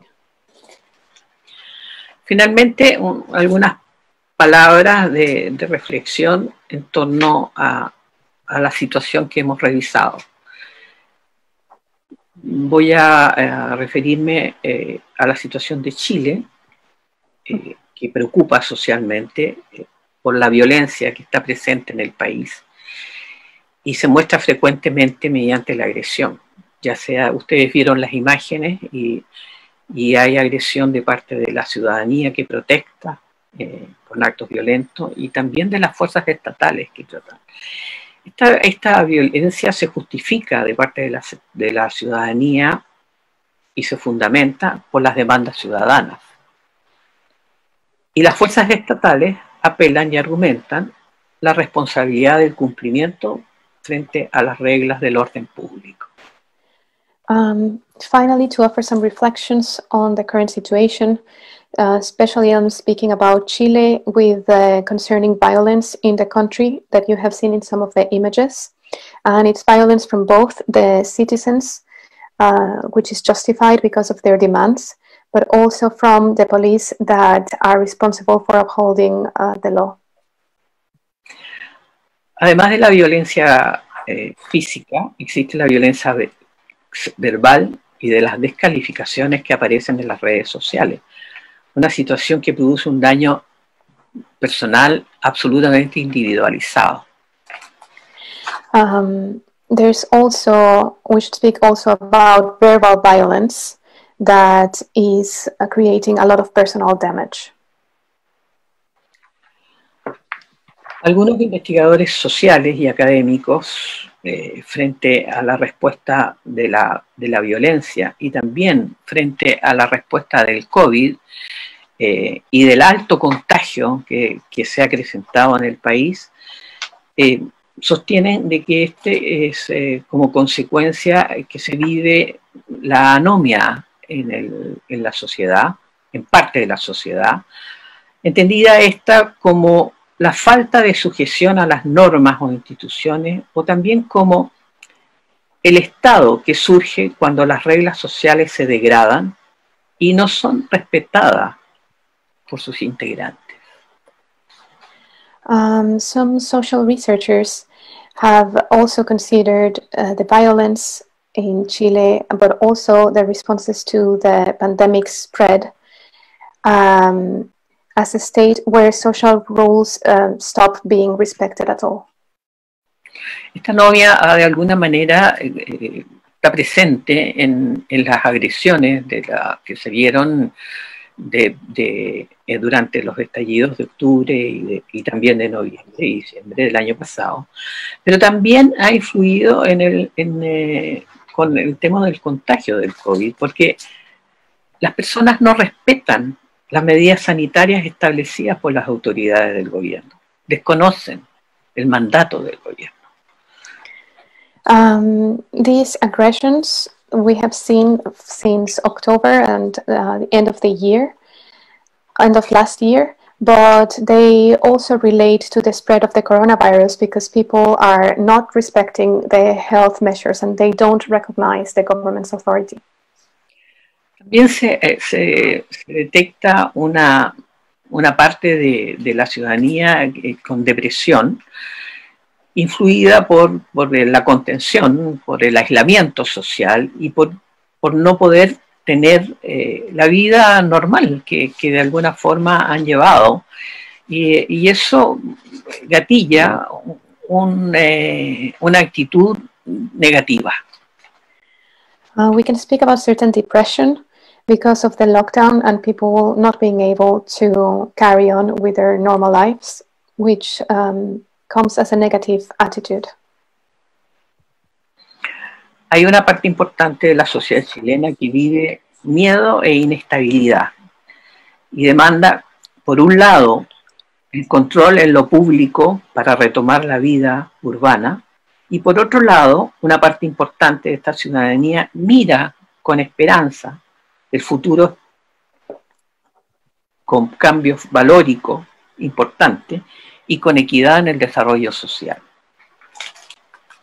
An important part of Chilean society is very much afraid and they are demanding both uh, public control to um, regain uh, their cities, uh, but also look hopefully towards a more equal future. Finalmente, quiero agregar que eh, me ha parecido importante revisar eh, las respuestas para tener a la vista eh, cuando tomemos nuevas medidas, cuando redefinamos nuestro trabajo. Y porque de alguna forma se me hace muy presente eh, y muy vigente los postulados de la Mesa de Santiago, que señala la importancia del aspecto social en los museos, que habla de la integración de las disciplinas y que por último señala que es importante la contextualización contemporánea de, eh, de los museos, que los museos deben tener presente el tiempo que viven y en qué territorio social están instalados. Um, finally, uh, looking at these responses, when it's time to rethink our work, um, it's important to recover the Roundtable of Santiago. It's very relevant and speaks of the social role of museums, uh, their interdisciplinarity, as well as their need to respond to the contemporary, the current context. Gracias. Thank you.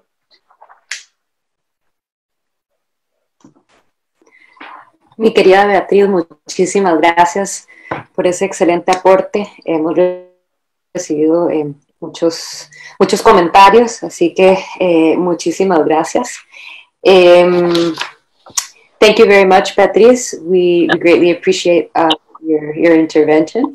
Um, and we will now be moving on to our next speaker. I do want to remind everybody that there is a specific uh, section area in the lower right where you can submit your questions in the Q&A. So you can make comments in our chat, but you can also submit your questions and it would be quite helpful if you submitted your questions in the Q&A section of uh, Zoom. So that's on the lower, toward the lower right of your screen. Um, we move on now to Luis Raposo, um, our next speaker. And Luis Raposo is head of research department at the National Museum of Archaeology in Lisbon, um, where he served as a director between 1996 and 2012. He has been a member of the advisory committee of the Portuguese National Committee of UNESCO since 2008 and is vice president of the Portuguese Association of Archaeologists. He is currently president of ICOM Europe, leading the first project to unite all ICOM regional alliances around the topic of museums and migration. He is also coordinating the project to install ICOM's International Training Center for Africa in Angola. Luis is an esteemed member of our EU LAC Museums Steering Committee, and we welcome you, Luis. Thank you very much for your participation.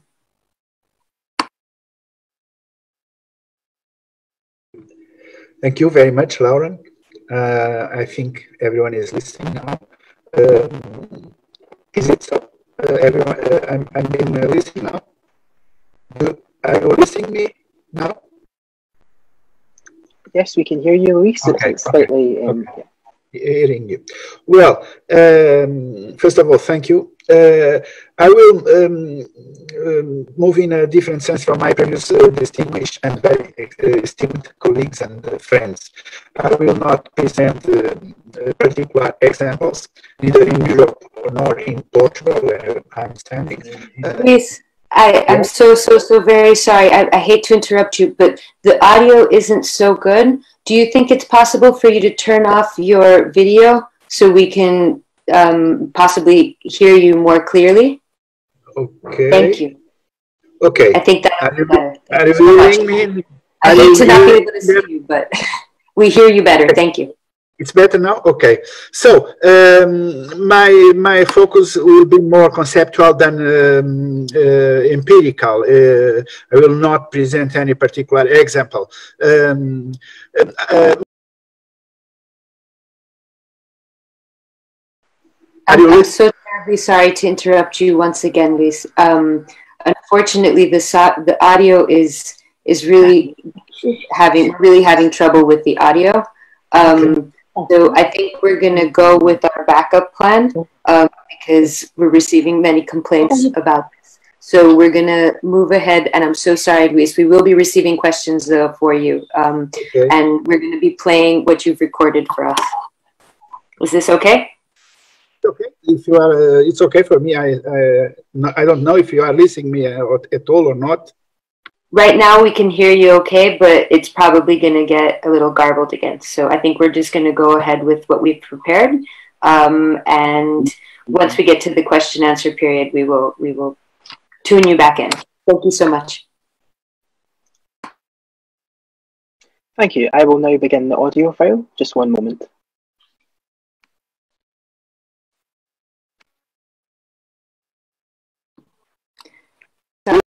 uh, to all of our, our participants, um, give us just another moment to work out what's going on. We have prepared. Well, uh, I, don't, I don't know if you are uh, hearing me now well.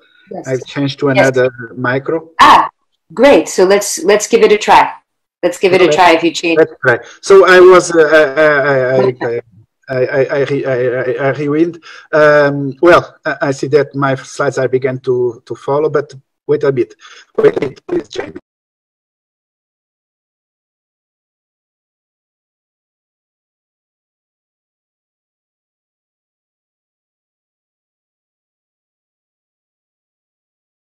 After uh, Samuel Pranger. He is the founding director of the Documentation and Rescue Center of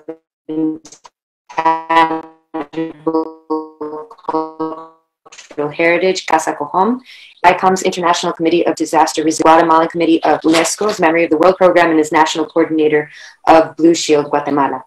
Samuel appears on the UNESCO list of experts for emergencies and cultural heritage and leads trainings and workshops worldwide in risk management for cultural heritage. Having been certified by ICCROM, the Smithsonian Institution, UNESCO, and the Prince Claus Fund.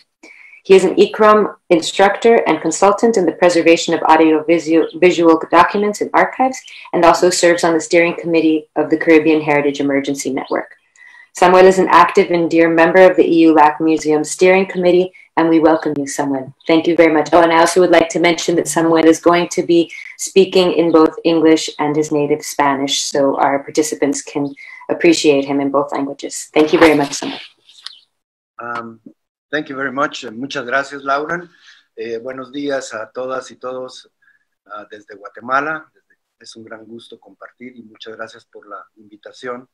Uh, a compartir conocimientos. Um, uh, I'd like to say thank you to the organizers of this webinar, and I hope uh, we can share some knowledge from Central America here from Antigua, Guatemala. So, uh, mi presentación la voy a hacer en español y en inglés para que todos comprendamos. Eh, y el tema es museos comunitarios como agentes de rescate de conocimientos ancestrales en esta época del eh, post-COVID-19 que tanto ha afectado. Ah, los museos comunitarios en estos momentos se encuentran en una situación eh, de retos, de oportunidades, eh, dramas también, como hemos escuchado con los colegas que estuvieron antes en las presentaciones anteriores, yo, pero a la vez siendo positivo, yo, pensamos que esta es una valiosa y única oportunidad para los museos eh, comunitarios, para llenar esos espacios vacíos que sus actualidades, eh, que sus eh, comunidades actualmente están experimentando debido a esta pandemia. So at this time, I think community museums have a big challenge and, uh, a big, uh, and yet a big opportunity uh, um, towards this situation that has been, risen in the last three months community museums have the opportunity to fill those empty spaces that are, are we are experiencing uh, experiencing due to the pandemics. So um, let's try to see that if I can move this to the next slide. Okay. Um, como sabemos, el, la pandemia uh, de la noche a la mañana ha impactado a la entera humanidad por su rápido y mortal desplazamiento, causando dolor, miseria y pánico en tantas familias. También está teniendo un impacto eh, muy grande eh, en el patrimonio intangible. Aquí vemos una diapositiva de patrimonio tangible por el momento, pero afortunadamente nuestro patrimonio tangible en Latinoamérica no ha sido afectado por este agente o por este peligro de la pandemia, pero más que todo ha sido el impacto en el patrimonio cultural intangible de las comunidades, obligando a dejar de practicar celebraciones muy importantes como lo fue la pasada Semana Santa, las fiestas patronales, rituales del ciclo de agricultura, y en su lugar estamos realizando prácticas muy distintas a las que estamos acostumbrados, como por ejemplo los funerales de nuestros difuntos sin la presencia de la familia y las exequias eh, tradicionales. Hoy estamos enterrando a nuestra familia, a nuestros amigos, con un límite de 10 personas eh, si tenemos suerte. So there is no doubt that this pandemic has affected overnight the entire humanity, uh, causing a lot of pain, misery, and panic within many families. This is also having a great impact in our intangible cultural heritage. Fortunately, our uh, tangible heritage has not been affected by this agent, but uh, the intangible cultural heritage of communities has forced, uh, has been affected uh, since uh, uh, this pandemic has forced us to practice traditions or costumes that are not the, the traditional ones. Like, for example, the, the Christian saint uh, festivals, the Holy Week in, in the area, which was two months ago when the pandemic arrived, the, the agricultural cycles, and, and also uh, especially funerals today. Uh, we are very limited to, to bury our, our relatives or our friends, and uh, in, um, without the, the, the, the usual um, uh, traditions or without the usual um, rituals that we accustom in uh, during these uh, occasions. So, intangible cultural heritage um, might be affected temporarily uh, as time goes by. But however, these changes have a lot of influence in our habits, in our behavior, in our practices, as resilient human beings that we are. Indudable, eh, aunque sean cambios temporales los que eh, esta pandemia está causando en el patrimonio inmaterial o intangible, conforme transcurre el tiempo, estos cambios influyen y transforman nuestros comportamientos, nuestros hábitos y prácticas. Como humanos que somos con capacidad para ser resilientes a las circunstancias que se nos presenten, poco a poco nos vamos adaptando a esta situación. Eh, este es un gran momento de la historia, eh, que en este momento los museos comunitarios tienen una gran responsabilidad en el proceso de recuperación de la identidad cultural de sus comunidades, su reconstrucción social, económica, política, a través de una interrelación de solidaridad, hermandad y reciprocidad. Es ahora cuando la Madre Tierra nos pide vivir en comunidad y olvidarnos del individualismo, comentan los ancianos y sabios indígenas de diferentes grupos étnicos del planeta, el mundo moderno ha dejado de, practicar el concepto de comunidad. This is a moment in history where community museums have a big responsibility in the process of recovering our uh, cultural identity uh, uh, and the cultural identity of our communities. The rebuilding of uh, the social, economy, economical, and political um, um, issues uh, throughout the interrelation with solidarity, brotherhood, repre uh, uh, so it is now that the Mother Earth has asked us to live in community and forget about individual issues.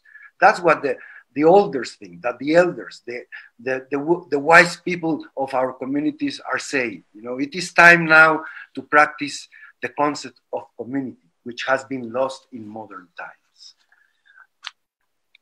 Además de la función de, de transmitir conocimientos a su comunidad,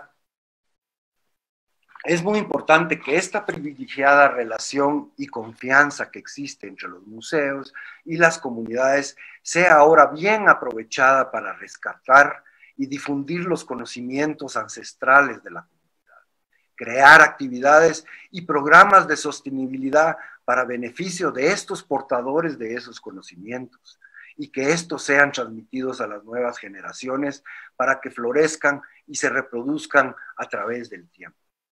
So, beyond the function of a community museum of just uh, communicating uh, knowledge to the community, it is now the time also to retrieve that, that knowledge, the community knowledge, as it, as it has been mentioned by previous presenters today, uh, I think this is a very um, uh, privileged time for community museums to make use of this uh, trust, of this confidence, this relation that, that exists between communities and museums. Uh, it is very important that we use that, that status of uh, trust to also retrieve information from the community to try to rescue the ancestral uh, knowledge. La pandemia del COVID-19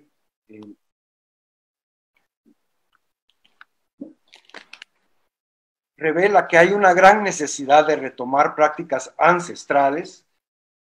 Ejemplo, aquí vemos a sacerdotes mayas, eh, eh, mujeres eh, guías espirituales que tienen un gran conocimiento. la pandemia COVID revela que hay una gran necesidad de retornar a prácticas ancestrales en el tema de salud, tomando en cuenta que pandemias y enfermedades han existido en el mundo a través de la historia, sin medicinas y sin tecnología se ha sobrevivido. Los conocimientos ancestrales perduran y son muy valiosos en estos momentos, en el que tendremos la oportunidad de combinarlos con los avanzados conocimientos científicos occidentales. So the pandemic has revealed also uh, that there is a need, there is a very strong need to go back to, to the, the ancestral knowledge of our elders, the old medicine men, you know, people who uh, who has this knowledge um, about traditional medicine. You know, there are there have been pandemics and disasters all uh, throughout history, throughout human history, and there was no there were no chemical medicines, there was no um, uh, technology, uh, and they have survived. So uh, I think now we have this big opportunity to uh, use um, to combine both ancestral knowledge with the scientific Western uh, knowledge of today. So according to the... Yes. Y, y, retomar el video, porque yo estoy con according, according um, yeah, gracias. Uh, to the to the elder people, um, there is no no no illness. There is no unbalance. We have created everything. Uh, at the same time, we have damaged our Mother Earth. Uh, natural disasters do not exist. They are created by the same human being. Según los ancianos, no existe la enfermedad. Eh, es un desequilibrio que hemos fomentado nosotros mismos, al igual que lo hemos hecho con la salud de la madre tierra. Los desastres naturales no existen, los creamos nosotros mismos los. Uh, so, eh, ahora voy a pasar a un tema eh, un caso que estamos viviendo aquí en Guatemala, en la antigua Guatemala, que es un lugar muy conocido por uh, sus tradiciones, por su, es un patrimonio de la UNESCO como sitio de la, de la humanidad, por su arte colonial, su, su arquitectura, pero también por su rico patrimonio cultural y material. I'm going to present a case study of Antigua Guatemala, which is uh, one of our UNESCO World Heritage Sites in Guatemala, and it is uh, not only a monument for humanity, but also a very uh, community that has, uh, it is very well known for the rich intangible cultural heritage, especially during the Holy Week. especialmente durante la Semana Santa en la Antigua, que fue cuando llegó la pandemia aquí alrededor del 16 de marzo, hace un par de tres meses ya casi, coincidía con las celebraciones de la Semana Santa en Antigua y eh, lamentablemente estas expresiones eh, culturales de la comunidad no pudieron ser expresadas en esta ocasión. So, the, pandemic arrived right at the time of the Holy Week, the Easter, the Holy Week in, in Latin America, I mean, worldwide, but uh, in Antigua, Guatemala, it is very famous because uh, of all the expressions, you know, carpets, uh, processions, uh, and a lot of intangible cultural heritage goes around. And unfortunately, due to the pandemic, uh, this uh, was for first time in the in history canceled, and and that was very very uh, very strange. as you can see. Um, the, the rich expressions of uh, I'm sorry, Jamie, I have a problem with the slide. I think you're also moving. Okay. So um, this can give you an idea of the, the amounts of people that can gather for the Holy Week. Esta fotografía les puede dar una idea de el, la cantidad de, de participación eh, de la comunidad, no solo de la antigua, sino gente de, vienen comunidades de todo el país y de otros países a celebrar la Semana Santa y este año pues se vio totalmente afectado. So um, this year was totally affected and uh, these slides uh, can show you, um, the previous slides uh, will give you an idea of the amount of people that gets involved in these festivities and uh, the contrast of today. This is the impact, the, the slides I, am showing now show you how dead Antigua is. Las, fotografías que estoy presentando en el momento eh, son, corresponden a la situación actual en la antigua Guatemala la cual es una comunidad que vive 100% del turismo.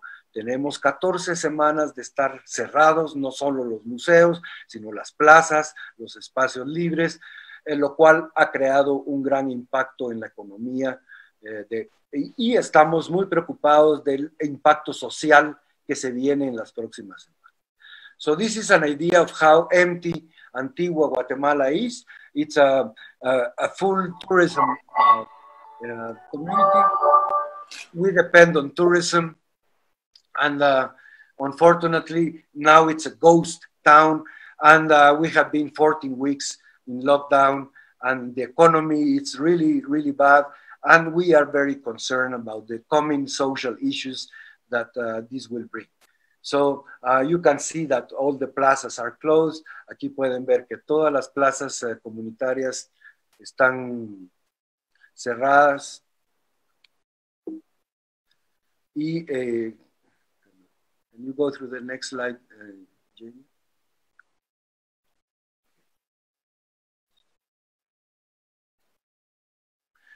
So, uh, esta diapositiva muestra la situación de este año. Eh, esta misma fachada, el mismo día, hace un año, estaba con 3.000 personas. Este año habrían, si muchos, 20 personas. O sea, la, uh, this is a facade of a church that if it was a normal Easter, uh, we would have 3,000 people. The same day, same time, this year, there were only 20 people, and uh, it can give you an idea of the impact of, uh, of uh, this situation. Same with this other church. Uh, you know, there's still people who has faith but uh, you know, in order to keep doing these uh, carpets and, and trying to dress up as uh, they would do in the Easter week, uh, but you can see it's a very dramatic scene. So estas fotografías nos pueden dar una idea de lo dramático que ha sido esta Semana Santa eh, en Antigua y eh, también el impacto que ha tenido eh, durante la Semana Santa, pero también se muestra la fe de, de nuestra comunidad de tratar de mantener la tradición viva.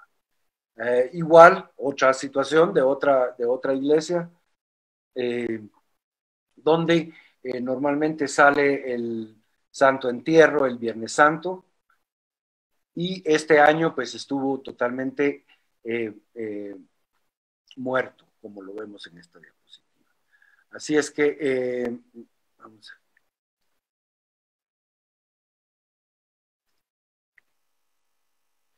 Eh, esto no solo afecta eh, la gente que participa eh, cargando o haciendo las, tradiciones, sino es toda una cadena de personas que se ven afectadas, creadores de patrimonio material, digamos, la gastronomía tradicional, que es parte de estas tradiciones, también se vio afectada.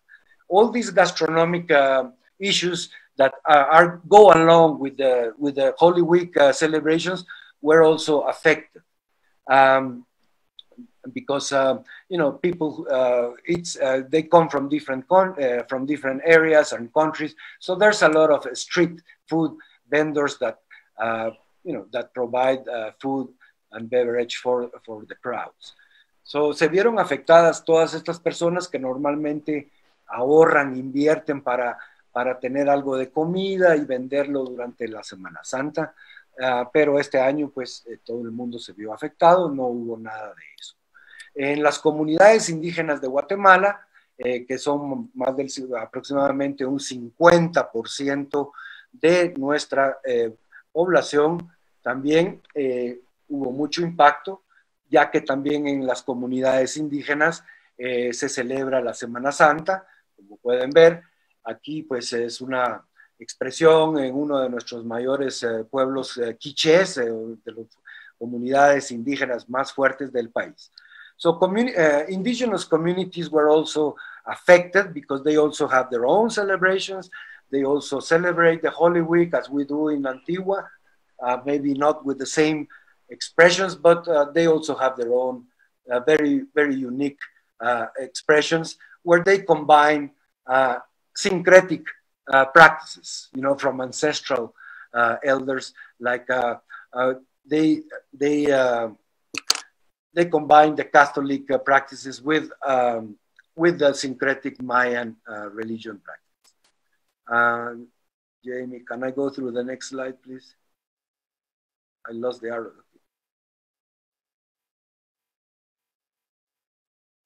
So there are deities like this doctor. This is the doctor, Maximón. Maximón is the old grandfather. You know, he can heal you. He can heal the pandemic. He can forecast the pandemic according to, to the to the to the elders. So a lot of people are now going to, to back to, to the old doctor, you know, to, to find an answer. So this is an ancestral knowledge. And these deities, these syncretic deities of indigenous people are, are, are, are again being re revalorated. So, esta, esta deidad que vemos aquí es una deidad sincrética de los indígenas mayas de Guatemala y le llaman el doctor, el juez, el licenciado. El doctor tiene poderes para curar y muchas uh, personas están yendo a, a, su clínica, digamos, en el, que está ubicada en el altiplano, para eh, como un recurso posible para poder combatir la pandemia. Entonces, este es un momento también para estas deidades y estas riquezas de patrimonio inmaterial de volver a rescatarse, de volver a tener una función como la que tuvieron originalmente. So this is an opportunity for all these deities and for all these beliefs that uh, to rescue the ancestral uh, knowledge in order to find solutions and to find a better way of living and, uh, and try to combine them with the new, the new scientific technology. So, um, because like we see in these photographs, this involves not only uh, one activity, but it's all the clothing, the, the food, uh, you know, uh, a lot of uh, a lot of expressions that are being affected. The artisans, the the the, the, the um, ceremonial rituals that these people practices. Um, todas estas tradiciones están siendo seriamente afectadas, ya que existen ferias eh, patronales donde se ven los, se lucen las, la, la, indumentaria ceremonial, salen las deidades sincréticas, eh, participa la comunidad, uh, las fiestas patronales también, que solo este mes de junio tenemos tres fiestas, San Antonio mañana, eh, San Juan el 24, San Pedro el 29, y este año no vamos a tener danzas tradicionales ni lo acostumbrado. So in the Christian festivals, Christian saint festivals uh, that take place uh, uh, the, the whole year, um, we are not celebrating it the same way, I'm afraid. For example, this month of June, we have three major festivals, or uh, tomorrow is the day of San Anthony, uh, June 24th is St. John's, and the 29th is St. Peter. So, um, so um, unfortunately, these have been affected. Those are occasions where we see the best of the communities, traditional clothing, traditional dance, and uh, traditional food. And, uh, you know, this has all been canceled. So this affects everyone, you know, the dancers, the mask makers, the costume makers, uh, flour, uh, gunpowder, uh, uh, you know, all the elements that, that are used. Um, todos los elementos que se utilizan en estos festivales también están siendo afectados, los artesanos que, confeccionan los trajes de las danzas, las máscaras, eh, las decoraciones de las procesiones, los músicos, eh, todo, todo esto pues ha sido cancelado eh, durante un, un tiempo indefinido y ya solo en este mes de junio pues...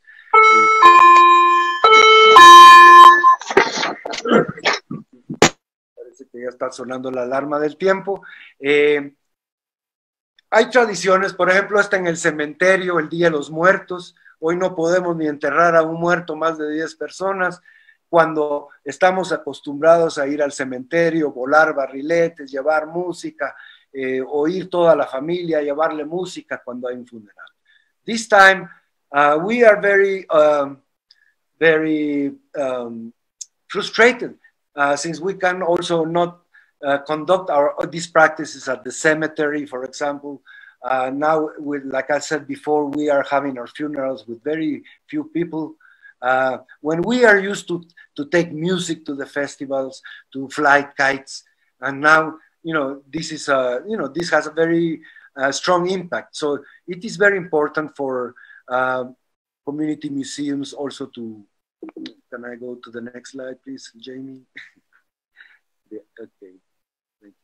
So, um, I would like to conclude. Quisiera eh, eh, concluir, eh, pues solo resaltando y después de exponer todo este material, pues la importancia y el reto que tenemos los museos comunitarios en rescatar estos valores. Ya se ha mencionado con los ponentes anteriores, pues las diferentes formas como podemos hacerlo. Yo creo que en eso estamos todos conectados y de acuerdo.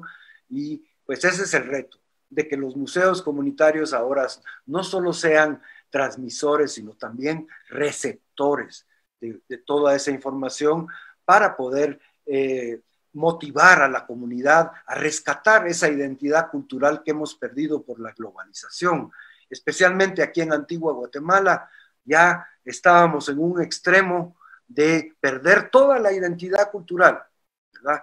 Con eh, negocios, letreros en inglés, eh, todo tipo de, desvirtualización de nuestra identidad, lo cual es una oportunidad también para la antigua, para el alcalde, para reconstruir un patrimonio tangible eh, como quisiéramos todos.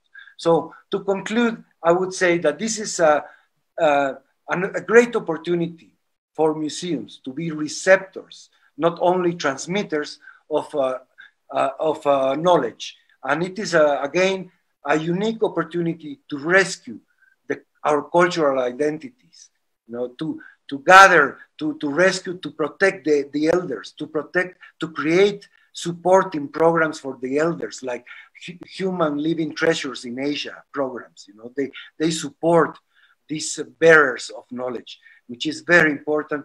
And this will make us think I think uh, some we have to look at the at the opportunities that this pandemic has given to the community museums, uh, because now community museums will have a, a first row uh, role in in in the museum's uh, scenario.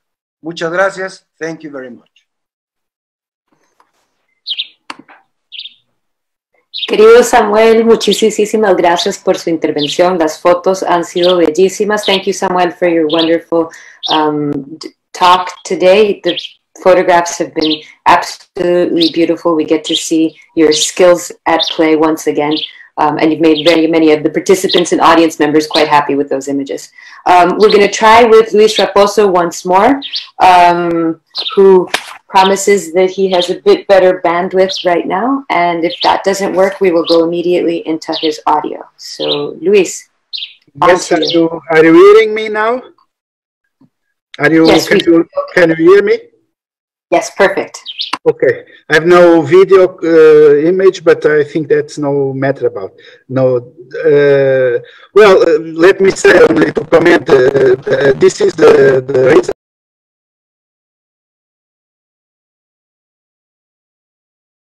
Uh, situation uh, all, all, around. And museums will also um, in a way suffer but also have opportunities uh, on that. The future of museums in my view is not so dramatic. A lot of people nowadays especially in europe where i'm being um, with eye concerns relating museums. I'm not so concerned as that. Uh, museums have already uh, suffered immensely uh, from crisis and they, they had survived, they survived and they will survive, I, I think. But of course, there are some museums which will suffer immensely. These are mainly the ones which had in recent years let themselves be taken by the so-called market or I would prefer to say, to say the casino culture uh, paradigm, who's, who's, uh, using George Steiner uh, words. The idea of promoting events for maximal impact in, and instant obsolescence aiming to create important financial flows, of course, appropriated by, appropriate these flows by investors and uh, as profits. Um, like any other profits in the, stock market. This is also what Theodor Adorno named the fetishism of cultural goods, following Karl Marx and other earlier philosophers referring the fetishism of objects. Among these market-oriented museums, the most wanted ones will be, and in fact, in fact, are being the, the ones depending on mass tourism revenues. Um, together with all other museums oriented to occasional visitors, uh, mostly in towns and large agglomerates. These will, these museums, depending on uh, uh, revenues from tourism and occasional visitors, will be forced to reinvent themselves, which is not bad, necessarily bad. On the contrary, I think, the, to program exhibitions really to be seen with time and sense of long-standing rejoice is undoubtedly better for me than to promote blockbuster blockbuster events focused focus on the way on the way which uh, on great masters see and represent the the air, the ear, or the nose, the nose of certain personages. Yet, other possible answers to the crisis, crisis by these museums can be much more disputable, being the digitalization one of them. Nowadays, everyone uh, uh, speaks about digital and digitalization. And uh, many people is attacked by the digital as a possible uh, development for museums. Of course, I agree that digital is important for museums, but what will maybe happen as an alternative for um, um, these, uh, for those museums, the these museums which I have referred before, is to develop light and sound spectacles immersive, immersive in such a way that we lost contact with reality inside them. I doubt personally very much that this could be adequate, both conceptually and practically speaking, a, a, a path for museums, a way for museums to, to, to, to proceed. And of course, these kind of spectacles will not be affordable for most museums. But in each country, museums in such conditions, museums depending on the market, are largely minority, minoritary. Even if the hotspot of the market tends to install the opposite idea, especially among political deciders and investors. In Portugal, for instance, to give you my own or my my country example, we um, believe that there are uh, 600 museums, or the double of things which call themselves museums not being so. But from these 600, half of them are really museums with all conditions to be uh, named uh, called museums and classified museums by the ICOM definition. Uh, and half of this half, about 30, 300 museums are already inside certified and inside a network of museums uh, validated network. So most of these hundreds of museums are not museums uh, depending on the market in, as I have uh, in initially uh, expressed. They still are museums in the basic sense of being museum. After, uh, since um, museums have been reinvented in the 17th century after the French revolutions. They are citizen developmental tools. And this is the basic definition for museum. Among these uh, museums, uh, which see, see, themselves as citizen development, developmental engines, the ones which are in the front line are museums who claim to be close to uh, people, uh, related to people. I prefer to say people than communities.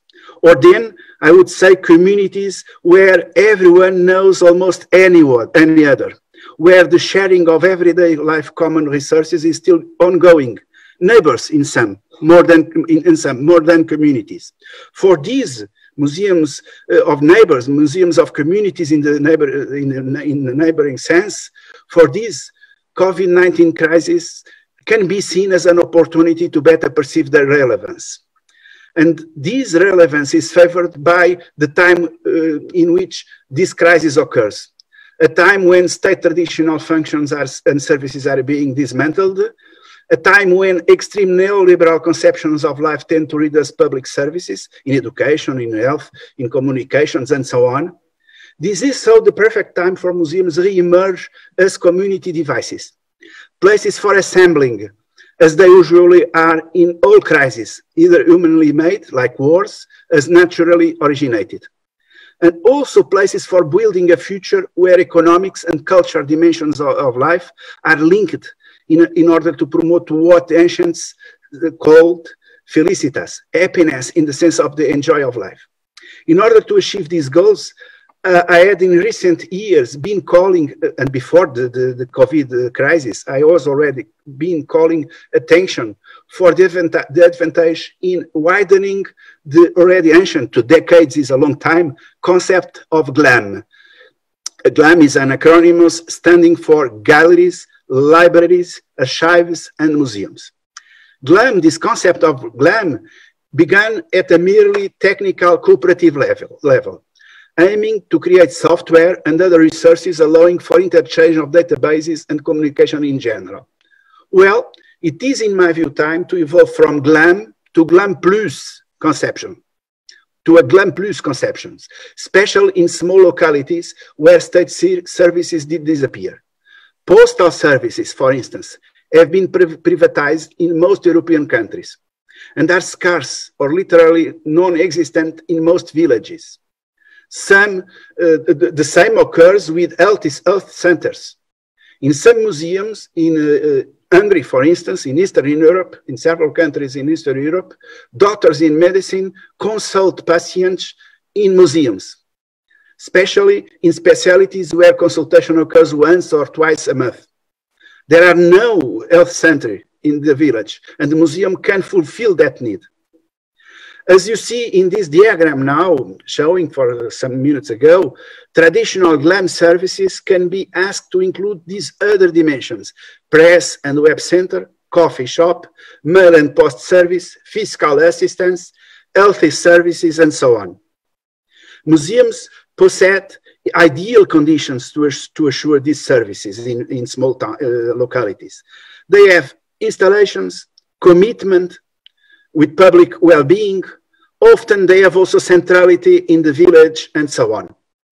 The exact geometry of this model will certainly be extremely variable. In some places, like in this second slide, and please go ahead with second, well, it is already now. Uh, in some places, like in this second slide, the museum can indeed be the booster institution. And the coffee, the press, or the mailing services can be the most appreciated uh, uh resources. But in other localities, as in, in this third slide, now the following slide, please, um, um, uh, Please go ahead with the following slide, Jamie. Yes, okay, thank you. Uh, the, the, uh, in other localities, like in this third slide, centrality will be attributed to the library, being the health center the most evaluated service and the museum just a subsidiary institution, maybe no more than a curator, a mediator, or a conservator restorator. It will always depend on what people, communities of neighbors, as, you, as I prefer to name, need and ask for two, two only final remarks I, uh, are worthy to note. First, we need not worry, uh, like many of my colleague, colleagues, professionals of museums worry about. I think we did not worry in if in such process museums can disappear by sub subsuming them themselves to other institutions, the library, the archive, uh, whatever, the cultural center in general. Museums, like any other social construct, are only needed if useful. Life is composed by birth and death. The death of museums must be seen as natural, so natural as their birth. So don't be anxious about the death of museums in this frame, because it can occur indeed. If required to continue, museums, uh, but on the contrary, if museums are required to continue, then they have, they, they have to keep to be museums. Meaning, they have to keep fulfilling needs that no others can equally assure. And this signifies that museums must be museums. They must keep their uniqueness, which, um, saying it briefly, is collections, collection curatorship. All other social roles are welcomed, of course, within this referred GLAM Plus frame. But if no specific museum's expertise is required, then better to close the museum. There will be uh, an unnecessary and expense loss of time.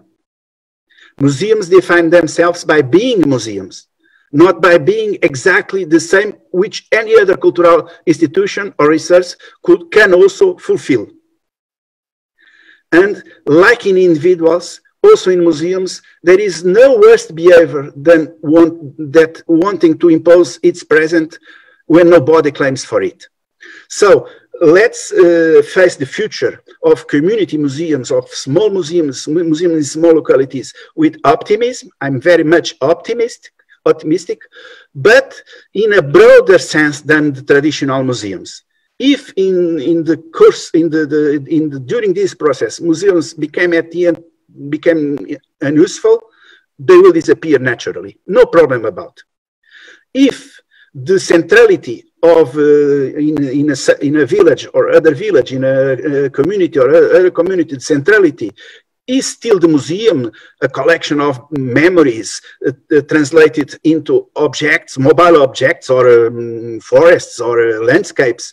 And uh, that specific uh, expertise is needed to curate those collections.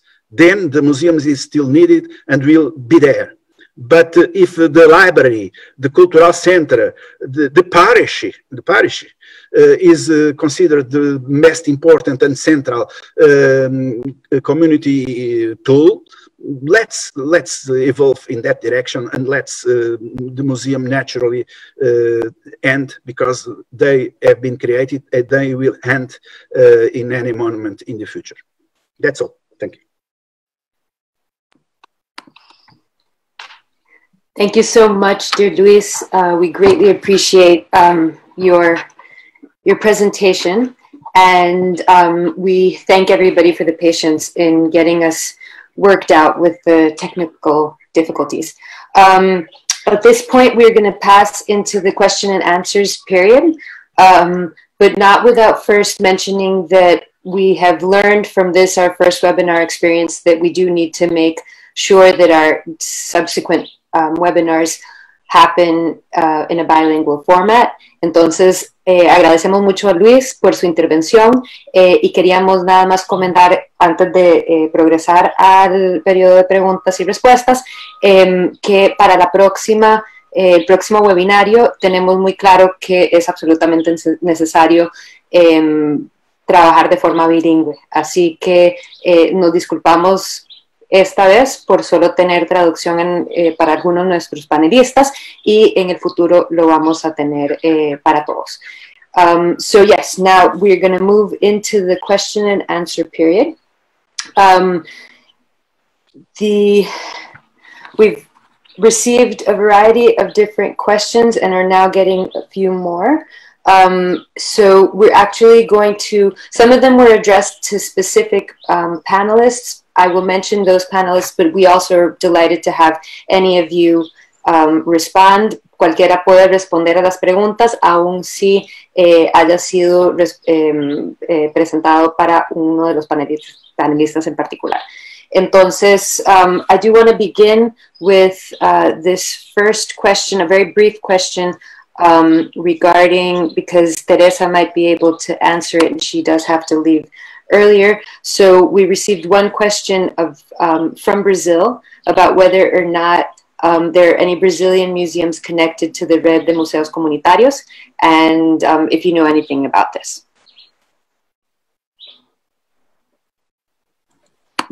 Yes, uh, yes, to answer that question, Several museums from Brazil and representatives of museums have participated in events uh, that the network has organized, uh, but they haven't uh, affiliated. They haven't become affiliated yet to the to the network.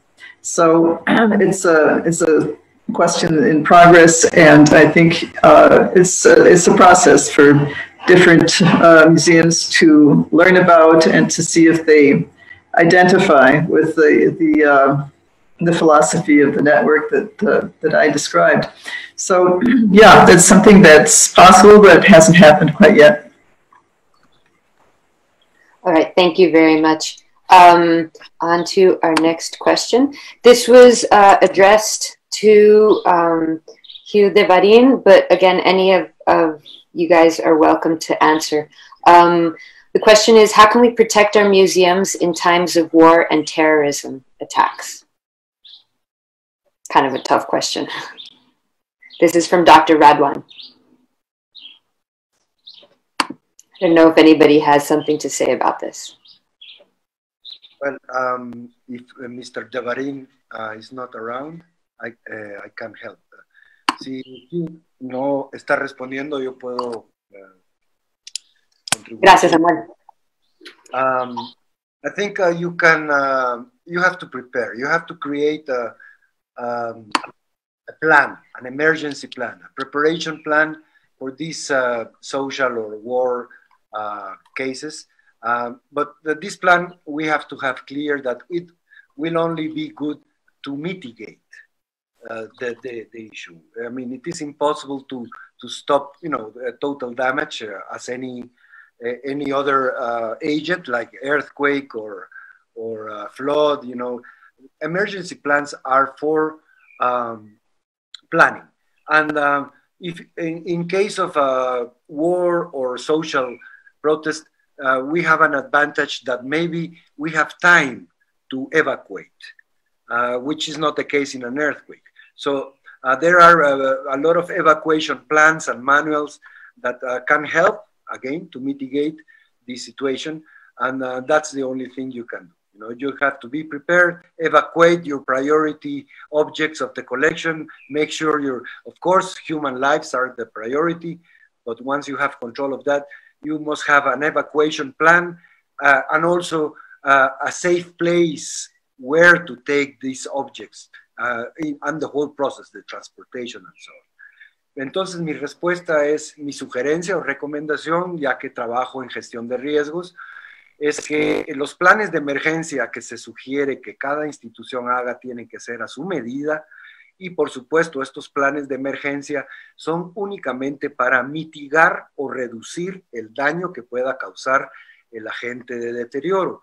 Una, uh, un conflicto armado, una guerra o una protesta social tiene la ventaja que puede eh, hasta cierta forma predecirse o uno o la institución puede conocer la situación unos días o con su, eh, pues a veces horas antes, a veces es sorpresivo, pero eh, la ventaja es que tenemos un margen de tiempo para prepararnos y principalmente evacuar, evacuar nuestras piezas eh, valiosas, nuestros objetos valiosos de la colección a un lugar seguro. Pero todo esto tiene que ser coordinado con un plan de emergencia anterior a la emergencia para poder eh, actuar eh, y mitigar eh, la mayor eh, parte posible de la colección. Um, thank you very much, Samuel. And actually, um, Dr. Radwan has actually raised his hand, so we're going to let him um, speak because we have the capability of doing that. So, Jamie, go for it. And uh, Dr. Radwan, we're delighted to hear from you.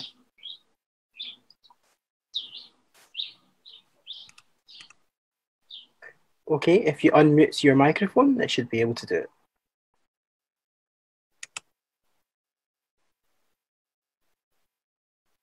Okay, I think we have a slight problem with the connection.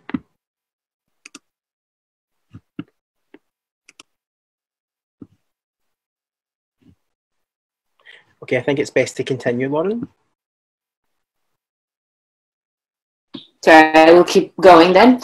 Um, our, our next question is, I think, a very pertinent question for all of us, all museum professionals. Um, this comes from Emma Jackson, and she asks, how do we keep this cultural connectivity momentum ongoing as the world goes back to normal? And of course, we have no idea what that normal is, but um, certainly uh, it's a good question. How how soon do we think that this normal will happen, um, or is this the dawning of a new age? So I guess the question is particularly this part about how do we maintain the momentum going.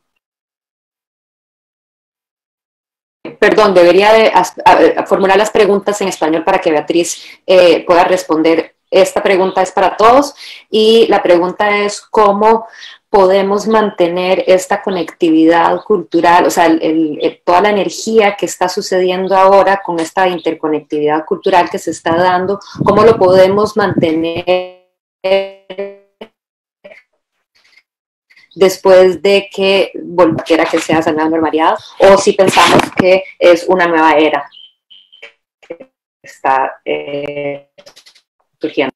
And this is open to all panelists. I don't know if anybody has a specific.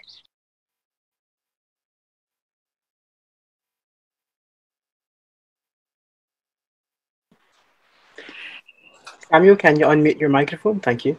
Yeah. Oh, yeah, like to just uh, speak to that briefly. I, you know, I, for the networks that we participate in, there was a, a, process of communicating by phone and sort of training people to, to see how they could, you know, get Zoom on their computer or on their phone. It was a, a, process, a training process, but and so that I think is something that's probably going to be ongoing now. People will learn how to handle these these different tools, and once they've learned them, you can continue to use them. They're not, um, it's a process that's, I think, probably has opened up uh, uh, possibilities of communication. And to keep them going, it's basically keeping a certain rhythm uh, because if, if communication doesn't happen uh, in a fluid way, people feel like it's just not worth it. So it, it needs to be something that's, uh, that's coming and going at a certain rhythm. And it also needs to be something relevant, I think, that people want to respond to, that they feel speak to their situation. So I think those are things that are important to keep this momentum. And I imagine that this is probably something that can stay and be a complement to the face to face interactions we can have later on. Hopefully, we will have later on. It'll be crucial to have. We can't substitute uh, that connection by internet. But uh, it probably is a complement, at least in my view, that will, will be here and will be an important resource. Entonces, pues digo nada más muy rápidamente que considero que es un recurso que la gente se ha capacitado, ha habido un proceso de aprendizaje del manejo de estas herramientas y que ya, ya que ocurrió, ya la gente se está conectando, creo que va a ser un complemento de las estrategias de comunicación. Eh, añadido a, la interacción cara a cara, que es fundamental, no puede ser sustituida, pero que este, esto pues, nos abre una posibilidad. Y para mantener el momento de esto, pues es importante cierto ritmo de comunicación y la relevancia de lo que se está comunicando para que la gente realmente siente que vale la pena, ¿no? Entonces, bueno, son factores a considerar, pero sí nos abre unas posibilidades y es cuestión de sostenerlos sin abandonar lo otro. Muchas gracias, Teresa. Eh, Samuel, ¿usted quería comentar algo? Sí, quería agregar de alguna manera eh, eh, a la respuesta dada por Teresa que sin lugar a duda esta comunicación digital es un recurso. sin embargo, creo que al igual como Samuel señala que tiene que ver con el espacio, con el lugar, para construir una línea comunicacional específica. Hay que reconocer la situación, el contexto en donde está emplazado y eso, eh, pienso, el público que, que, con quien hay que conectarse. Pienso que eso marca diferencia entre unas instituciones y otras. El fortalecer la línea comunicacional, la vinculación con el público tiene particularidades en, cada una de las instituciones y creo que la construcción eh, que nos permite eh, fortalecer la comunicación eh, de la, nueva tecnología es un, sin, sin, lugar a duda, como dice Teresa, es un importante recurso que hay que tenerlo presente en el desarrollo museológico futuro. Um, yeah, can I translate that for you? Anna, please do. Okay, so she is adding uh, that she agrees that digital communication is a very valuable resource. However, also as Samuel says, there's um, space to build a specific communication line that belongs to a particular context. And that context can be very different between institutions. So the idea of strengthening this communication line and this relationship with uh, the public, with the audience, is different across institutions. And new technologies are important resources for future museological developments. Thank you, Anna, very much. Um, I'm going to move on to, or someone, did you wanted to, did you want to respond something? Before? Can I, can I say something quickly? Samuel? Um, okay, I'm to, yes, please. Yeah, it's just a, um, a couple of people are still asking questions to Hugh de Varine. And I'd like to explain that Hugh de Varine has, has had to leave the meeting for now. And also that um, Teresa Morales needs to meet, leave the meeting in five or 10 minutes. So if there are any specific questions for Teresa, this is your last chance. Thank you. All right, um, thank you very much, Karin. I'm going to uh, move forward to the next question that we received that um, uh, just wait, hold on. Sorry about that. Um, this is kind of a long comment, so I'm going to read it all out. Um, en los, it's in Spanish. En los museos comunitarios en los que existe incertidumbre sobre la continuidad de la, la institución, ¿se ha planteado ya alguna medida de dónde va a ir o qué se va a hacer con la colección que alberga? A, a, very interesting question. So we know that many community museums are in peril of possibly closing. Does anybody have any response regarding um, what any plans that are being made around um, the safeguarding of those collections? If anybody has any um.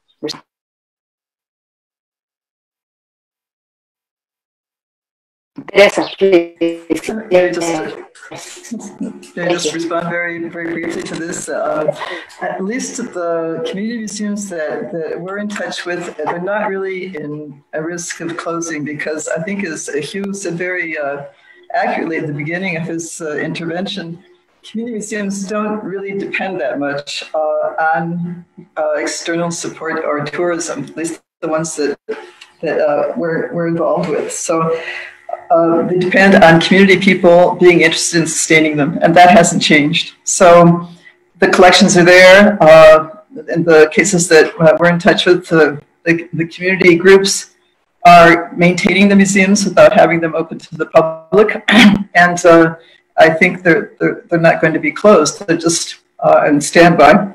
And of course, it's an, it's an effort to uh, maintain the installations and so forth. But it's something that uh, doesn't put them at risk of being closed at, at the moment. So, uh, nada más estoy comentando brevemente que los museos comunitarios, como dijo Hugh de Barin, realmente dependen del compromiso y el trabajo comunitario y eso no ha cambiado en los museos que nosotros conocemos, se están sosteniendo, hay ese compromiso. Entonces la gente no abre el museo al público, pero mantiene la colección y conserva lo esencial de, de lo que es el edificio y las colecciones. Entonces, este, creo que en ese sentido no hay un, un riesgo inminente, ¿no? No sé si la otra, las otras participantes pueden eh, mencionar otras situaciones, pero es lo que yo conozco. Does anybody else want to respond to that? Maybe Samuel, do you have any ideas of what's going on there in Guatemala? Sí, Or Luis? sí eh, efectivamente, bueno, el, en primer lugar yo pienso que eh, la definición de museo comunitario es muy amplia. O sea, eh, hay muchas situaciones, muchas circunstancias, eh, pues que, que, ahora nos van a, a, cuestionar, pues, de, de la de exactamente cuál es, se va a crear una nueva definición en base a las responsabilidades. O sea, en Latinoamérica incluso existen diferentes versiones de lo que es un museo comunitario. Entonces, hay diferentes situaciones de cómo se está reaccionando y manejando el tema. Pero em, em, concretamente, en base a la, para responder la pregunta, yo diría, como dijo Teresa, que las colecciones no, en realidad no, no están en peligro, no se está moviendo nada. Es más, se está fortaleciendo. eh, en el caso de las comunidades indígenas de Guatemala y eh, que, que, tienen pequeños museos comunitarios, digamos, ellos mismos tienen sus, sus sistemas de autodefensa, se han aislado, o sea, respetan las regulaciones eh, del gobierno, pero tienen sus propias regulaciones municipales de acuerdo a lo que llamamos la alcaldía indígena, eh, que ellos tienen sus propias leyes también, y muchos museos comunitarios dependen de estas municipalidades o, o en, en, cierta forma están vinculadas a estas municipalidades. Sin embargo, la situación no es la misma en Antigua o en la ciudad, en las metrópolis más grandes, que también pueden haber museos comunitarios, pero eh, su función eh, no es similar a la que está, o sea, su, su eh, la forma, su operación, diría, no es, eh, eh no necesariamente es igual a la de las comunidades. So I, I was saying that uh, to answer the question, uh, uh, as Teresa mentioned, um, you know, uh, collections are not being moved anywhere uh, because they are not in danger. I mean, this is not an earthquake, this is not a flood. Uh, I mean, they are safer where they are. I mean, actually, it is better not to touch the collection, you know, because uh, so. Uh, but basically, it is the the operational issue that uh, of the of the community museums that will change. And as I said, community museums it's a very very vague or abstract definition. I mean, we tried with the EU LAC project to try to define what a community museum is because in Europe is one thing. Even in Latin America, we have three, four different concepts of what a community museum is. So, but basically collections are the same. It is basically the, the operative uh, uh, activities that uh, will have some, may have some uh, uh, modifications uh, according to their municipal or national governments. But I think, uh, like in my, like I said in my presentation, this is a good opportunity for all community museums to to really uh, be born again and, and be really stars in this in this moment. You know, it is very important. Uh, thank you very much, Samuel. Um, we're going to try to bring somebody else in with the audio. I'm not sure if we're going to be able to do that. Um, is is Rodrigo available? Perhaps we can we can try to get him um, uh, available, and I will keep going forward with some of the rest of the questions. Um, We've had many different questions regarding uh, the um, the ideas. Uh, so sorry. Um, we've had questions regarding digitization and the fact that we're all going virtual. Some of the questions are related to whether or not there are any um, uh, resources out there to help community museums in digitizing. Other questions regard um, the concern of the um, disparity in resources. Again, an issue of financing. So, what what um, if there are any other um, solutions that community museums have come up with if they're unable to face the the challenge of funding the needs for virtual Uh, to go virtual, to go digital. Entonces, la pregunta es, eh, hemos recibido varios comentarios sobre eh, la importancia de digitalizar y virtualizar nuestros museos, eh, pero definitivamente hay una preocupación por el poder financiar este, estos medios, eh, que ciertamente em, pues hay una, una, discrepancia entre la capacidad de un museo pequeño, comunitario, y los grandes museos. Entonces, la pregunta es si han habido eh, algunas otras alternativas que se hayan presentado en estos tiempos eh, considerando esa realidad. Perhaps I should phrase the, the question again in English because I was bringing it together in my mind.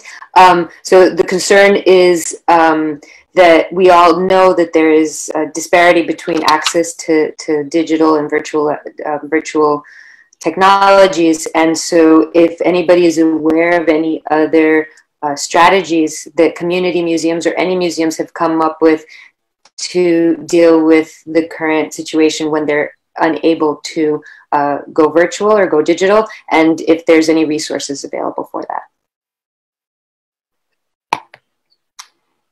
And if nobody feels the desire to respond to that question, I will um, move on. Uh, I just wanted to. Are you hearing yes. me? Yes. Are you- are you- uh, yeah, yeah, yeah. Well, I would say that um, um, in the last two or three years, there has been some calls of DigiConnect on Horizon 2020 to the digitalization of cultural heritage. There has been a call this year.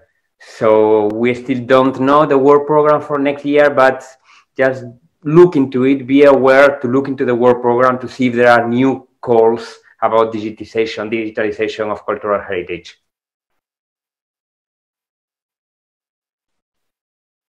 Thank you so much, Rodrigo. And I would like to just briefly mention um, that Rodrigo is uh, Rodrigo Martí is our um, EU project officer for the EU LAC Museums um, project. So thank you so much, Rodrigo, for for accompanying us today.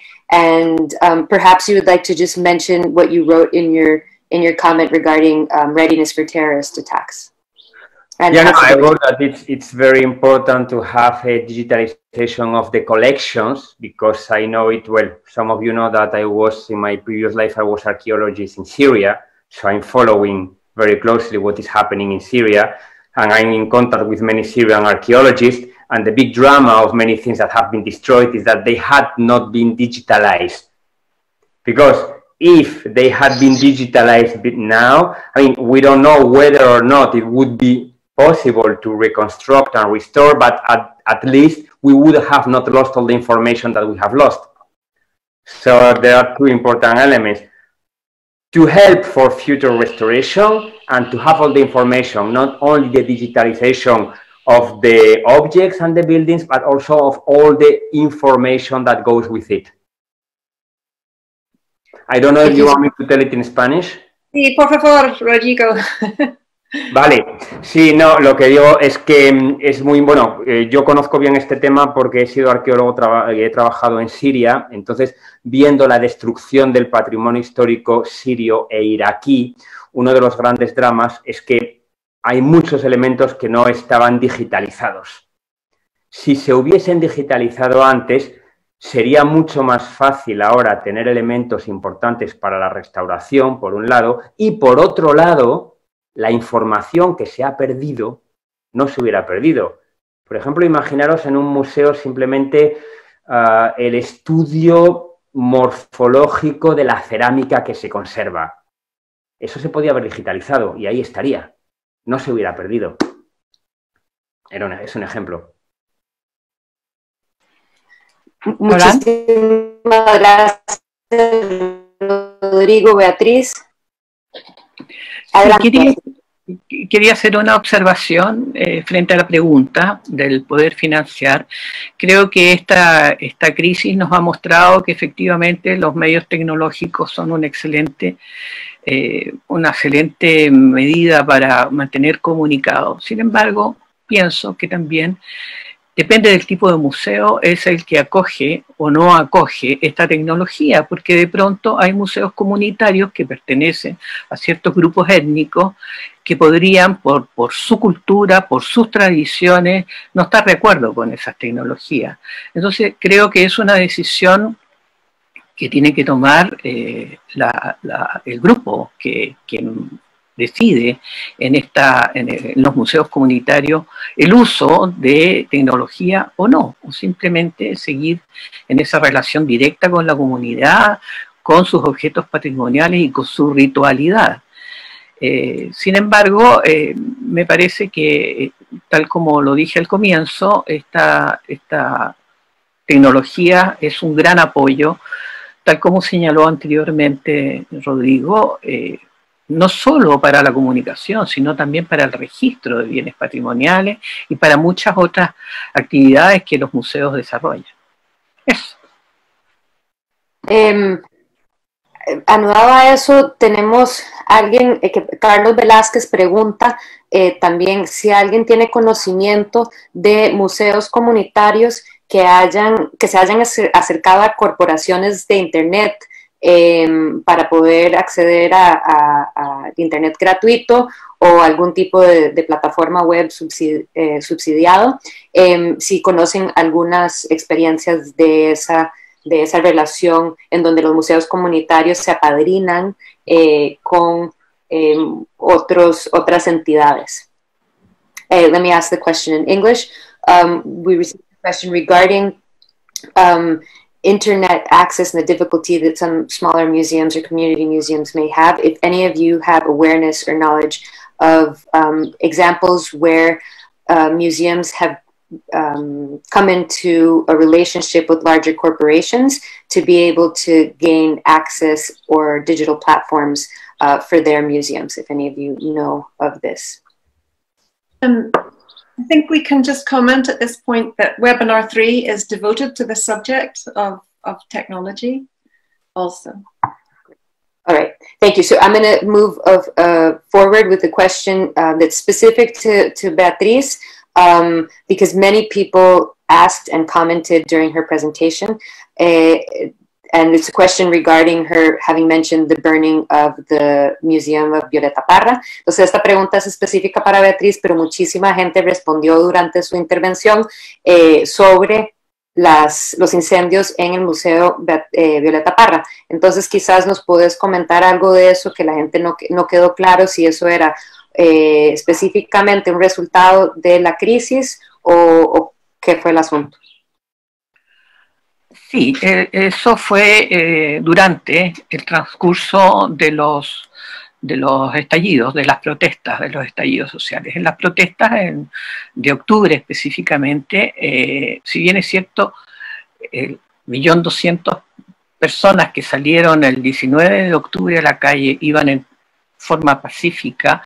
Sin embargo, hay pequeños grupos que son muy violentistas y que con el correr del tiempo han ido eh, adquiriendo eh, esta, esta acción frente a una serie de, eh, bienes patrimoniales y, ciudadanos. Entonces, tal como señalé cuando, cuando mostramos la imagen, el museo está emplazado a, poca distancia del foco central de las protestas y fue fue quemado, así como fueron quemados un, hotel en, el otro contorno de, la calle, eh, fueron quemados y mm, el edificio en su totalidad, los interiores y todo, eh, está en desuso, ¿no? fue quemado tres veces, tres veces se provocaron incendios.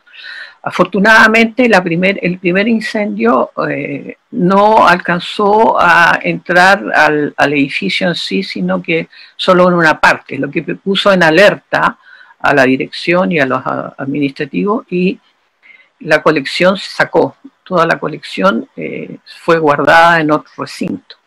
Eh, pero después todas las instalaciones del museo están absolutamente deterioradas. Perdón, Beatriz, pero Anna? yes, it's okay. I got it. Ah, um, okay.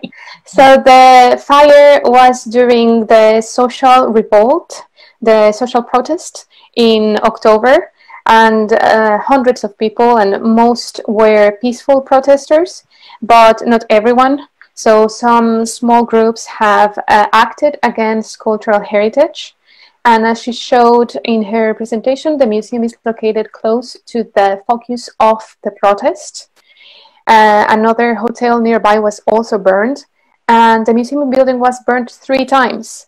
And uh, thankfully, the, the first fire provoked only affect the building um, partially.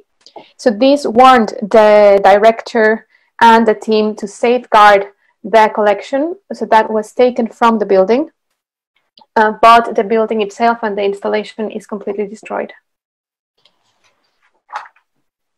Beatriz, ¿vas a agregar algo más? No, solo decir que la verdad es que la respuesta todavía no está clara. Violeta Parra es una persona muy querida y respetada dentro de la memoria eh, colectiva y justamente un, museo que estaba poniendo eh, en valor toda su obra eh, fue deteriorado. Es un indicador importante dentro de lo que es el tema de la violencia y la agresión. Um, the response is not clear yet. Uh, Violeta Parra is a very well respected figure, and this museum is dedicated to her, and now uh, it, has, is, it has been burnt like that. Muchísimas gracias. Um, I'm going to uh, pose another question that we've received. And again, this can be for any of our, our panelists. Um, first, it's written in Spanish, so I'll read in Spanish. ¿Cómo compaginar el turismo local y externo con la preservación del patrimonio material e inmaterial? ¿Están contrapuestas el acceso al patrimonio y la preservación? Very good question. Um, so the question in English is, how can we bring together tourism, both local and foreign, um, with the needs of preservation of both um, tangible and intangible heritage? Are they in opposition of each other, access to heritage as well as as well as preservation? Samuel, I see you nodding your head. Would you like to go ahead and respond to that? Uh, sí, con mucho gusto. Uh, bueno, yo pienso que, digamos, en el caso nuestro, aquí en Antigua, es un ejemplo perfecto de eh, esta situación con el turismo. O sea, tenemos muy claro eh, que en los próximos uh, seis meses únicamente eh, eh, veremos turismo local. O sea, Antigua es un destino turístico por excelencia, tanto locales como extranjeros. Ahora, los pronósticos, de acuerdo a los expertos, es que son que este, estos meses que quedan del año tendremos que reconfigurar, reconfigurarnos los museos para atender a, a, la, a la población local, o sea, un turismo local. Probablemente por diciembre eh, iremos viendo ya un turismo regional, tal vez del Salvador, de México, de países cercanos, pero el turismo internacional vendrá con suerte eh, el otro año, tal vez. Entonces, ahorita, eh, ¿cómo podemos integrar todo? O sea, yo pienso que lo que estamos haciendo muchos en Antigua, nuestro museo, el museo que yo dirijo, por, por 33 años es la primera vez en la historia que se cierra 14 semanas y dependemos de un 95% de visitantes turísticos, de turismo. O sea que para nosotros esto fue un golpe mortal, como para todo, para todo eh, las instituciones culturales que hay en la antigua Guatemala. Entonces, la estrategia que debemos de tomar para integrar es atraer, cambiar nuestra museografía, o sea, nuestras historias, cómo vamos a cambiar toda la, forma como contamos la historia, podemos usar los mismos recursos, los mismos objetos de la colección o adaptar algunos con nuevas tecnologías, definitivamente, pero eh, de una manera que implique también temas más globales. Por ejemplo, el patrimonio inmaterial eh, tenemos que darlo a conocer a nivel global Tal vez nos hemos concentrado en nuestro museo a, proyectar un patrimonio inmaterial muy guatemalteco, muy maya, pero eso nos limita en visitantes. El, desgraciadamente, el visitante local es muy ah, apático a, lo propio. ¿verdad? Un guatemalteco te dice, mira, yo no voy a ir a un museo de textiles, aunque ya vieron que son bellísimos, porque estos textiles los veo en el mercado, los veo en la calle, tenemos una cultura viva. Entonces, eh, obviamente un museo de textiles mayas o de instrumentos musicales mayas no le atrae a nuestra población porque vemos que es un, eh, lo damos por garantizado que lo tenemos en las calles. Por eso es que el turismo nos apoyaba. Sin embargo, ahora tenemos que cambiar eso en una forma que eh, estamos limitados de viajar al mundo por las aerolíneas, por los costos, por lo que se viene. ¿Por qué no traemos el mundo a nuestros museos? Patrimonio inmaterial de otras culturas, que nuestra gente eh, aprenda del patrimonio inmaterial de otras culturas y a la vez subliminalmente se puede ir metiendo el patrimonio eh, material e inmaterial, ambos patrimonios, local, pero combinarlo de una forma más global para que sea atractivo y apetecible eh, e interesante para nuestro, nuestras audiencias locales. So, what I'm saying is that uh, a perfect example here in Antigua uh, is that uh, we have all depended from tourism. Uh, our museum has been depending on tourism for 33 years. We have 1,500 visitors a month for 33 years, and now we have 14 weeks of nothing. So uh, it is the same of, for everyone in Antigua. Uh, so we are very concerned that uh, we have to forget about tourism, about international tourism for the next year at least, or eight months. And the forecast of the tourism industry experts in the region is that uh, for the next six months, we will experience a lot of uh, local tourism. I mean, Guatemalans are, will come because, uh, you know, everybody is tired of being locked in. And, uh, and uh, maybe by the end of the year, we may experience some regional tourism from the neighboring countries, maybe. Uh, and then the international tourism that we had three months ago, you know, uh, maybe will come back uh, at the, you know, maybe the second quarter of next year. And so that means that we cannot wait. We cannot sit with our arms closed waiting for international tourism. So the, the, the, strat the strategy has been to change our museography, how uh, we will use our objects, the same collections, but we will tell the story in a different way. You know, we uh, usually Guatemalans do not have, are not attracted to, to, to, to see a textile museum. You know, you have seen beautiful textiles in the photographs, but we are used to see them in the streets, in the markets every day. So people thinks, uh, takes these things for granted. You know, they think they're going to be forever. So they say, why should I go to a museum if I go, I just go to the market and I look at the textiles. I can listen to marimba in every street every day. So why should I go to see it in a museum? Okay, that's understandable.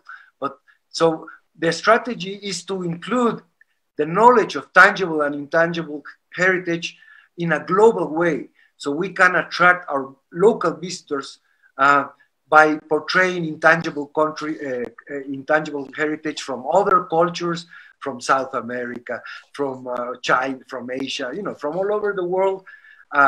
In a global way so people will learn about about the cultures of other countries especially now that traveling will be so difficult let's bring the world to our museum you know people will have the opportunity to to to watch uh, to learn about intangible cultural heritage in a general concept and then we can land in guatemala or wherever we like. The same with tangible cultural heritage. So basically the answer is to change the way we tell stories. Know we we i'm sure we can use the same objects or maybe we have to do some small adjustments to tell a new story but we have to reinvent. We have to be you know interesting for the communities uh, for the for the visitors. It, Thank you so much, Samuel. I think that your response actually also was uh, in line with somebody else's question at one point, which was regarding whether or not this whole move towards digitalization and virtualization is going to have an effect on um, interpretation. So I think that your your conclusion is is perfect. Um, I'm going to uh, present one more question, and then I'm going to hand the floor over to unless Rodrigo wants to say something specific to what Yes, okay. Rodrigo, please. And then I'll ask the last question. Yeah, I, am going to go fast. i will give you some maybe news of things that are happening at the EU level. We had a workshop uh, last Monday uh, with the three projects that we are financing now on cultural tourism. And um, this, uh, the coordinators of the project, well, they are doing it as all the other projects. They are finding this, so they have to reinvent not only the way of investigating, but also the field of their study. So they are investigating not only how to um, do research work in this crisis time, but how the cultural tourist destination can cope with this situation. And for example, they have just started to do that. For example, they are seeing how museums could provide personalized guides, virtual guides to groups. And they are investigating into that. And that could be, for instance, you could, you and your friends could visit a museum from, you are in Brussels, you could visit a museum in Antigua, and you can get a personalized tour. They are trying to develop, I mean, these things that not exist, but they are trying to develop that technology now. And so we will have another workshop in six months where they will share with us the results of what they are doing. So might be interesting maybe for you to be aware of that. So I am wondering, I mean, I will see maybe if Karin is interested or all of you are interested, maybe we could try, I mean, I understand that you are almost all, almost all of you related with e-commerce, right? So we might try to invite to that workshop some representative for e from e-commerce to get um, to get uh, some hints on the last research on this field. That what what we are doing these projects. Does anybody need um, a, a, a, quick summary in Spanish of what I said? Eh, mejor, por favor, Rodrigo. Sí, vamos a ver, digo que hemos tenido un taller el otro día con tres proyectos que tenemos de turismo cultural. Entonces, estos tres proyectos se encuentran con la circunstancia actual de la crisis en las que tienen, están haciendo frente a dos tipos de problemas. Por un lado, cómo continuar la investigación y por otro lado, eh, el objeto propio de la investigación, los lugares que son objeto de turismo cultural, cómo pueden hacer frente a la situación. Entonces, están investigando ahora de qué manera, con medios digitales, pueden hacer que estos lugares, como por ejemplo museos, puedan ofrecer productos particulares adaptados a situaciones de crisis. Por ejemplo, visitas virtuales de museos a grupos o a personas particulares que están en el otro lado del, mundo. Entonces son tecnologías y métodos que están desarrollando ahora en este momento y que probablemente en seis meses, cuando tengamos una nueva workshop, nos van a informar sobre resultados. Entonces, a lo mejor eh, gente mm, de ICOMOS Latinoamérica podrían manifestarme su interés y podríamos ver de qué manera les invitamos a la próxima workshop. Thank you so much, um, Rodrigo. And we're going to have our last question now, um, a, a, loaded one, a packed one um, for those of you who are still available. Um, so I will state it first in Spanish. cuáles son los conceptos de la nueva museología que, que consideran hoy deben ser retomados tras la pandemia del COVID-19, sobre todo comprendiéndonos ante una nueva normalidad. Y eh, continúa la pregunta o una segunda pregunta, ahora que nos encontramos al interior del INCOM replanteando el concepto del museo, ¿cómo nos tenemos que reconstruir y no solo redefinir? So um, it's two questions, and I will I will state them now in English.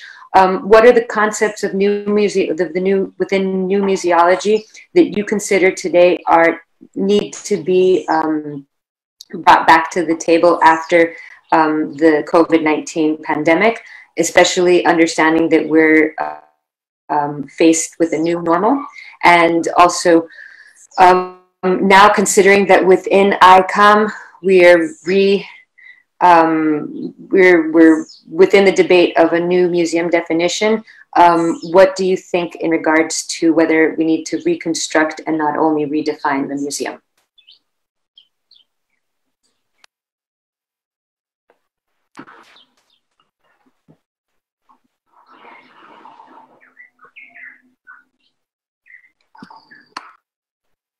I see, I see nobody um, wishes to respond to that. So, oh, Karen, thank you. But I think Beatriz wants to say something. Ah, Beatriz, ¿vas a responder algo? Sí, voy a hacer un comentario. Gracias. Menor, comentario menor frente a la nueva museología. Creo que la nueva museología es una disciplina eh, que eh, en, estos momentos que estamos viviendo tiene mucha pertinencia, ya que considera eh, muy fuertemente la participación de la sociedad en, el desarrollo museológico. Sin embargo, para también creo que para también a la nueva museología este, esta pandemia eh, le, llevará a a una serie de preguntas buscando respuestas de la mejor forma de desarrollar una museología concreta, una museología que realmente responda a las necesidades.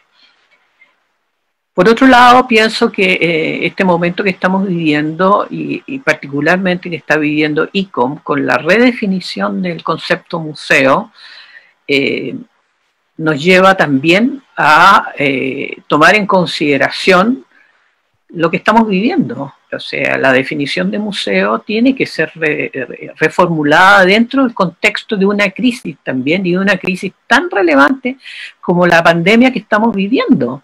Eh, no es un caso menor, no, es, no ha sido la única epidemia generalizada que hemos vivido, pero ha incidido fuertemente en la actividad museal.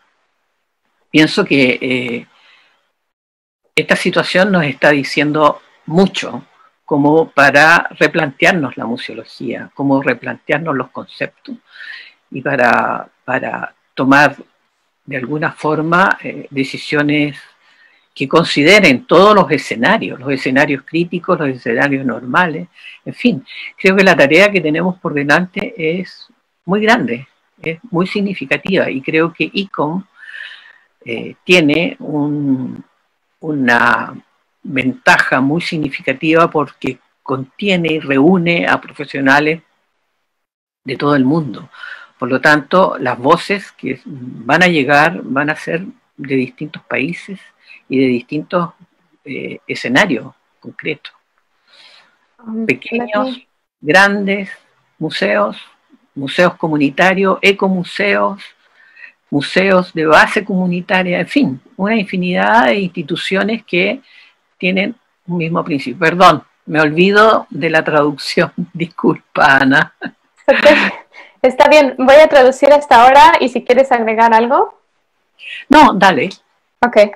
Uh, well, she's speaking about new museology as a very relevant discipline right now, that especially because it considers society's part uh, within museums, but also presents the question of uh, what other new museology can be developed that responds to community needs.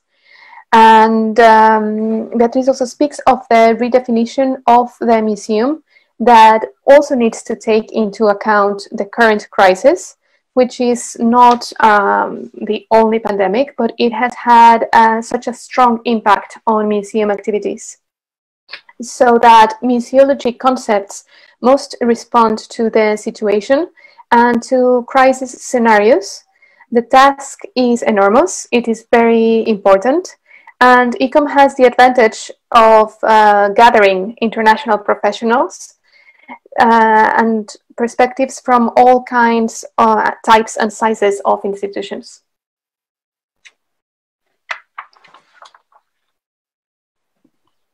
Thank you, Ana. Beatriz, ¿vas a uh, aportar algo más? No.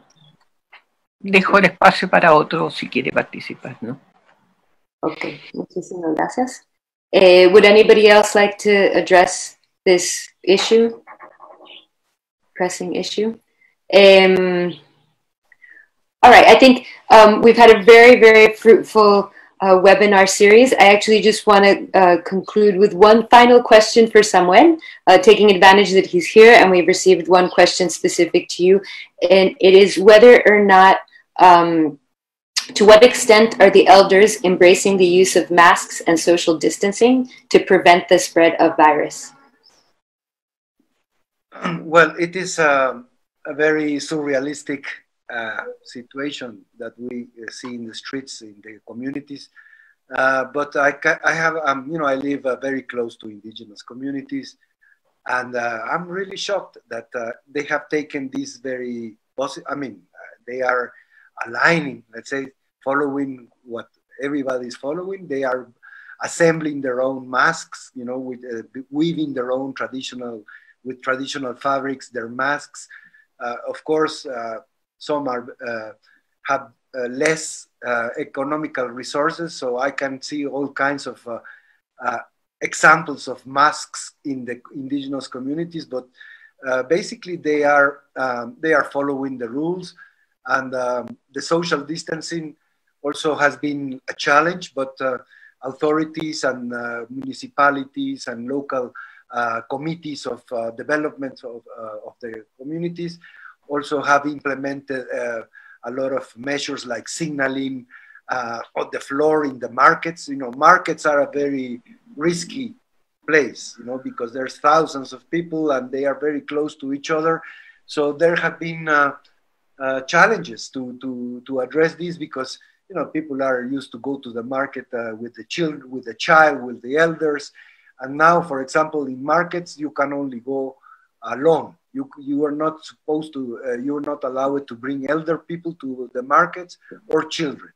And uh, preferably if one only member of the family comes to, I'm talking about markets, uh, the same in supermarkets, but that, that's a different issue. But in the most remote areas, of course, there have been resistance of, of a few groups. You know, we, uh, like they, do, we are going on curfew from 6 uh, p.m. to 5 o'clock a.m. It's been like more than a month of this curfew. And uh, some uh, communities do, do not want to respect this. You know, they think that's against their, uh, their life and also their, their rights to, to circulate. Right now we have restrictions from move to from one province to another province. So uh, this affects a lot of the economy of uh, agricultural people. You know, if you want to sell avocados, if you want to sell tomatoes, onions, into the neighbor uh, to, to the next door community because that's the usual trend you know not all the crops are produced in, in, in every community. So we have to import uh, goods, food from other communities, and they are not being allowed to circulate. And they are complaining that they are allowing the Coca-Cola trucks to circulate, but why not our tomatoes and our, our onions, you know, like, entonces, lo que estoy eh, tratando de plantear es que eh, estoy sorprendido, por un lado, de la buena respuesta, la positiva respuesta que ha habido en las comunidades indígenas de eh, acatar las regulaciones de usar mascarilla, el distanciamiento social, uh, y medidas se están tomando especialmente en los mercados. Ustedes saben, en las comunidades indígenas, pues el, son comerciantes de nacimiento, desde niños ya están vendiendo. Entonces, esto es algo que afecta mucho porque eh, hay restricciones de movilización de una provincia a otra y esto pues perjudica a los agricultores que van a vender sus tomates a las 5 de la mañana, se los transportan a la ciudad capital o, al mercado local de otra población y esto no se les está permitiendo.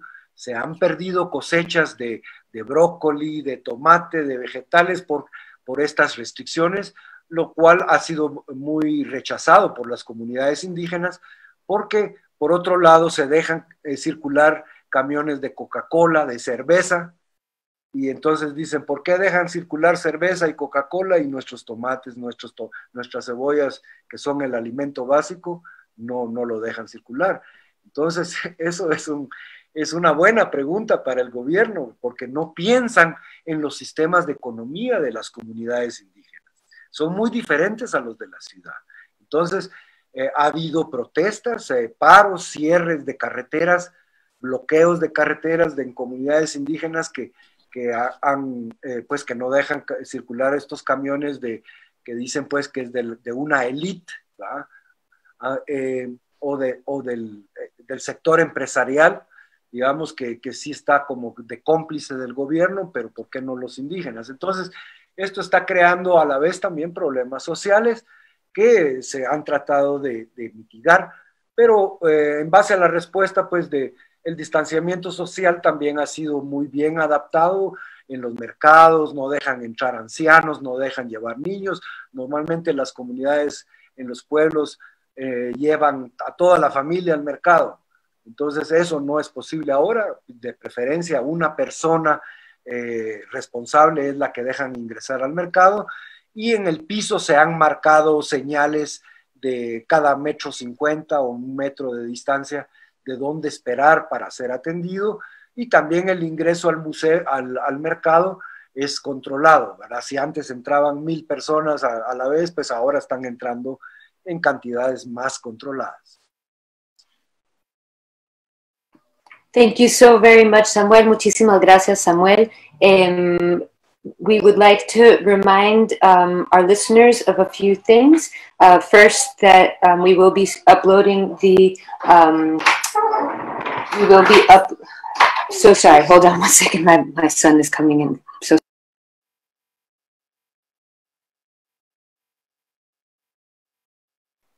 Hello, Um, so sorry, so sorry. Um, we will be uploading this webinar in YouTube and it is immediately available currently on Facebook. Um, when we upload it to YouTube, it will have the subtitles in Spanish. Entonces, lo que estoy diciendo es que este webinario estará eh, disponible inmediatamente en Facebook y eh, posteriormente con los subtítulos en español. Entonces, para las personas que han hecho esos comentarios sobre eh, las dificultades en términos de eh, idioma, lo hemos tomado en cuenta para los futuros webinar webinarios. We've taken um, your suggestions into consideration for future webinars, um, and we will be doing them fully bilingual.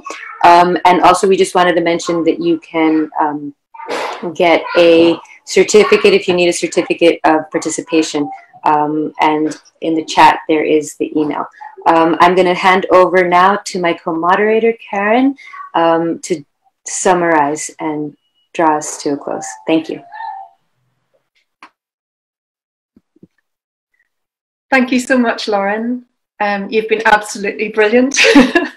and um, it's been a lot of work for you and a lot of concentration. So thank you.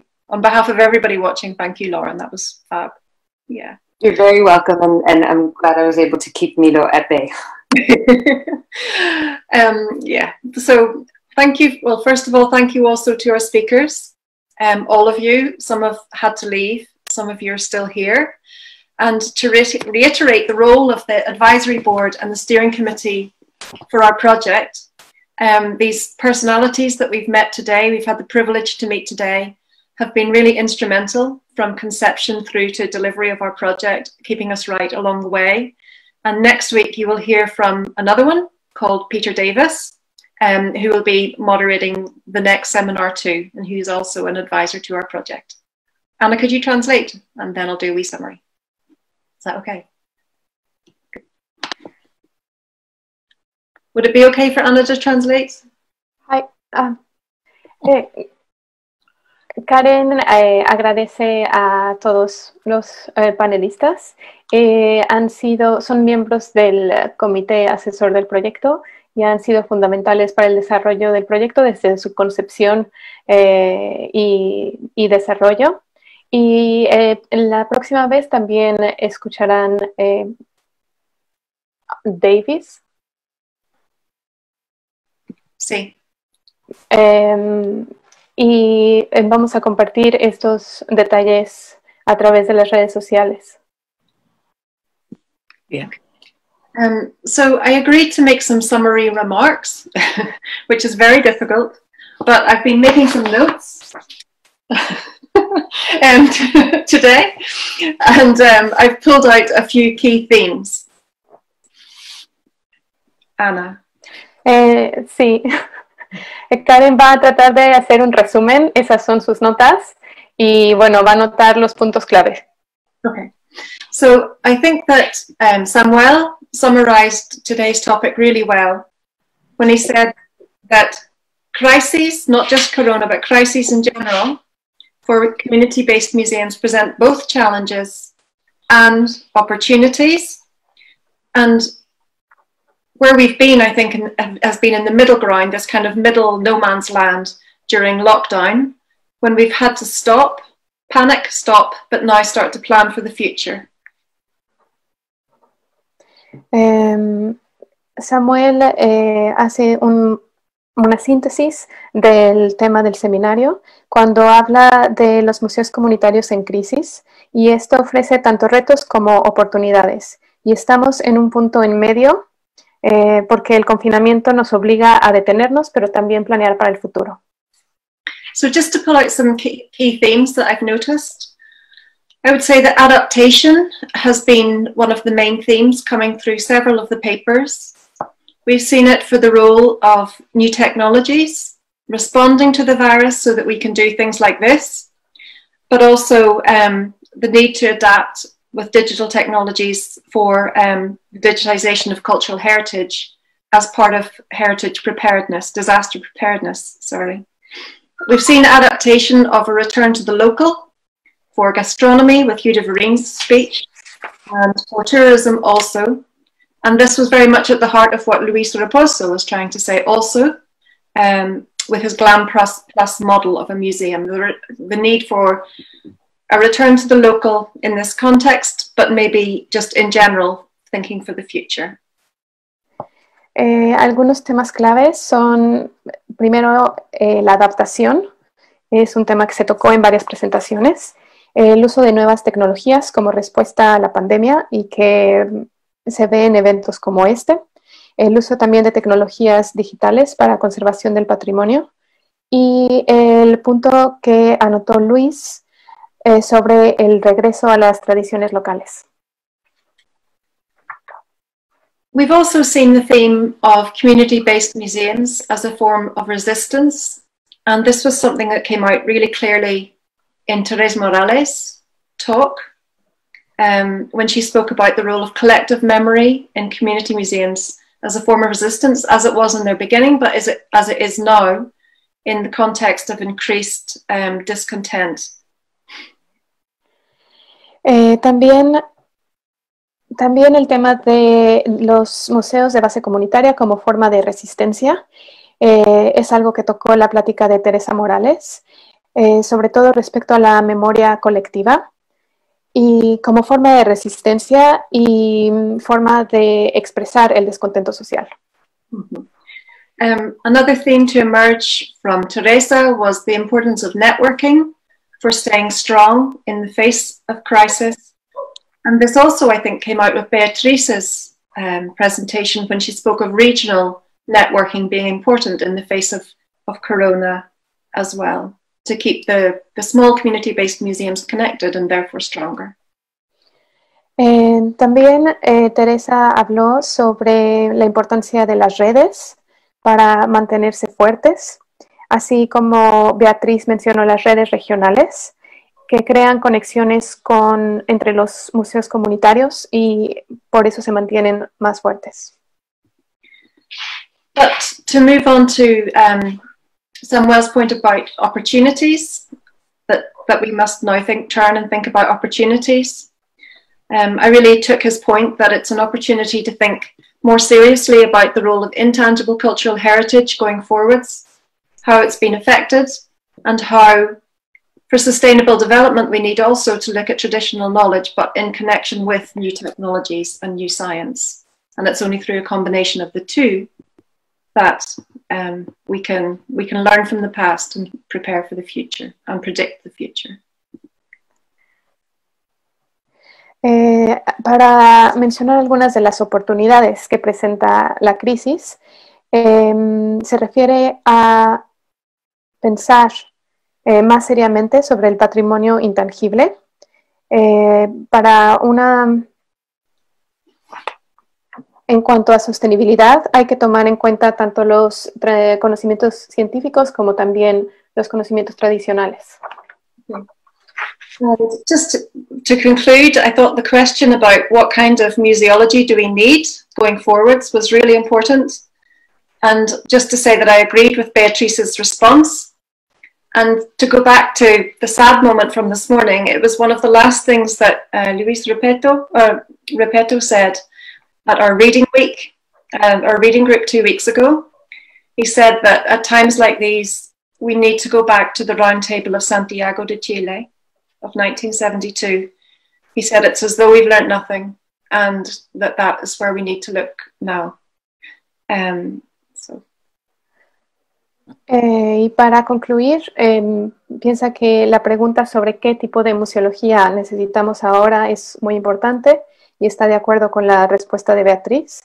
Y regresando al momento triste de recordar a Luis Repeto, hace unas semanas comentó en el grupo de lectura que hay que regresar a la mesa redonda de Santiago y que no habíamos aprendido nada. Entonces, retomar esas ideas. Okay, gracias, Anna.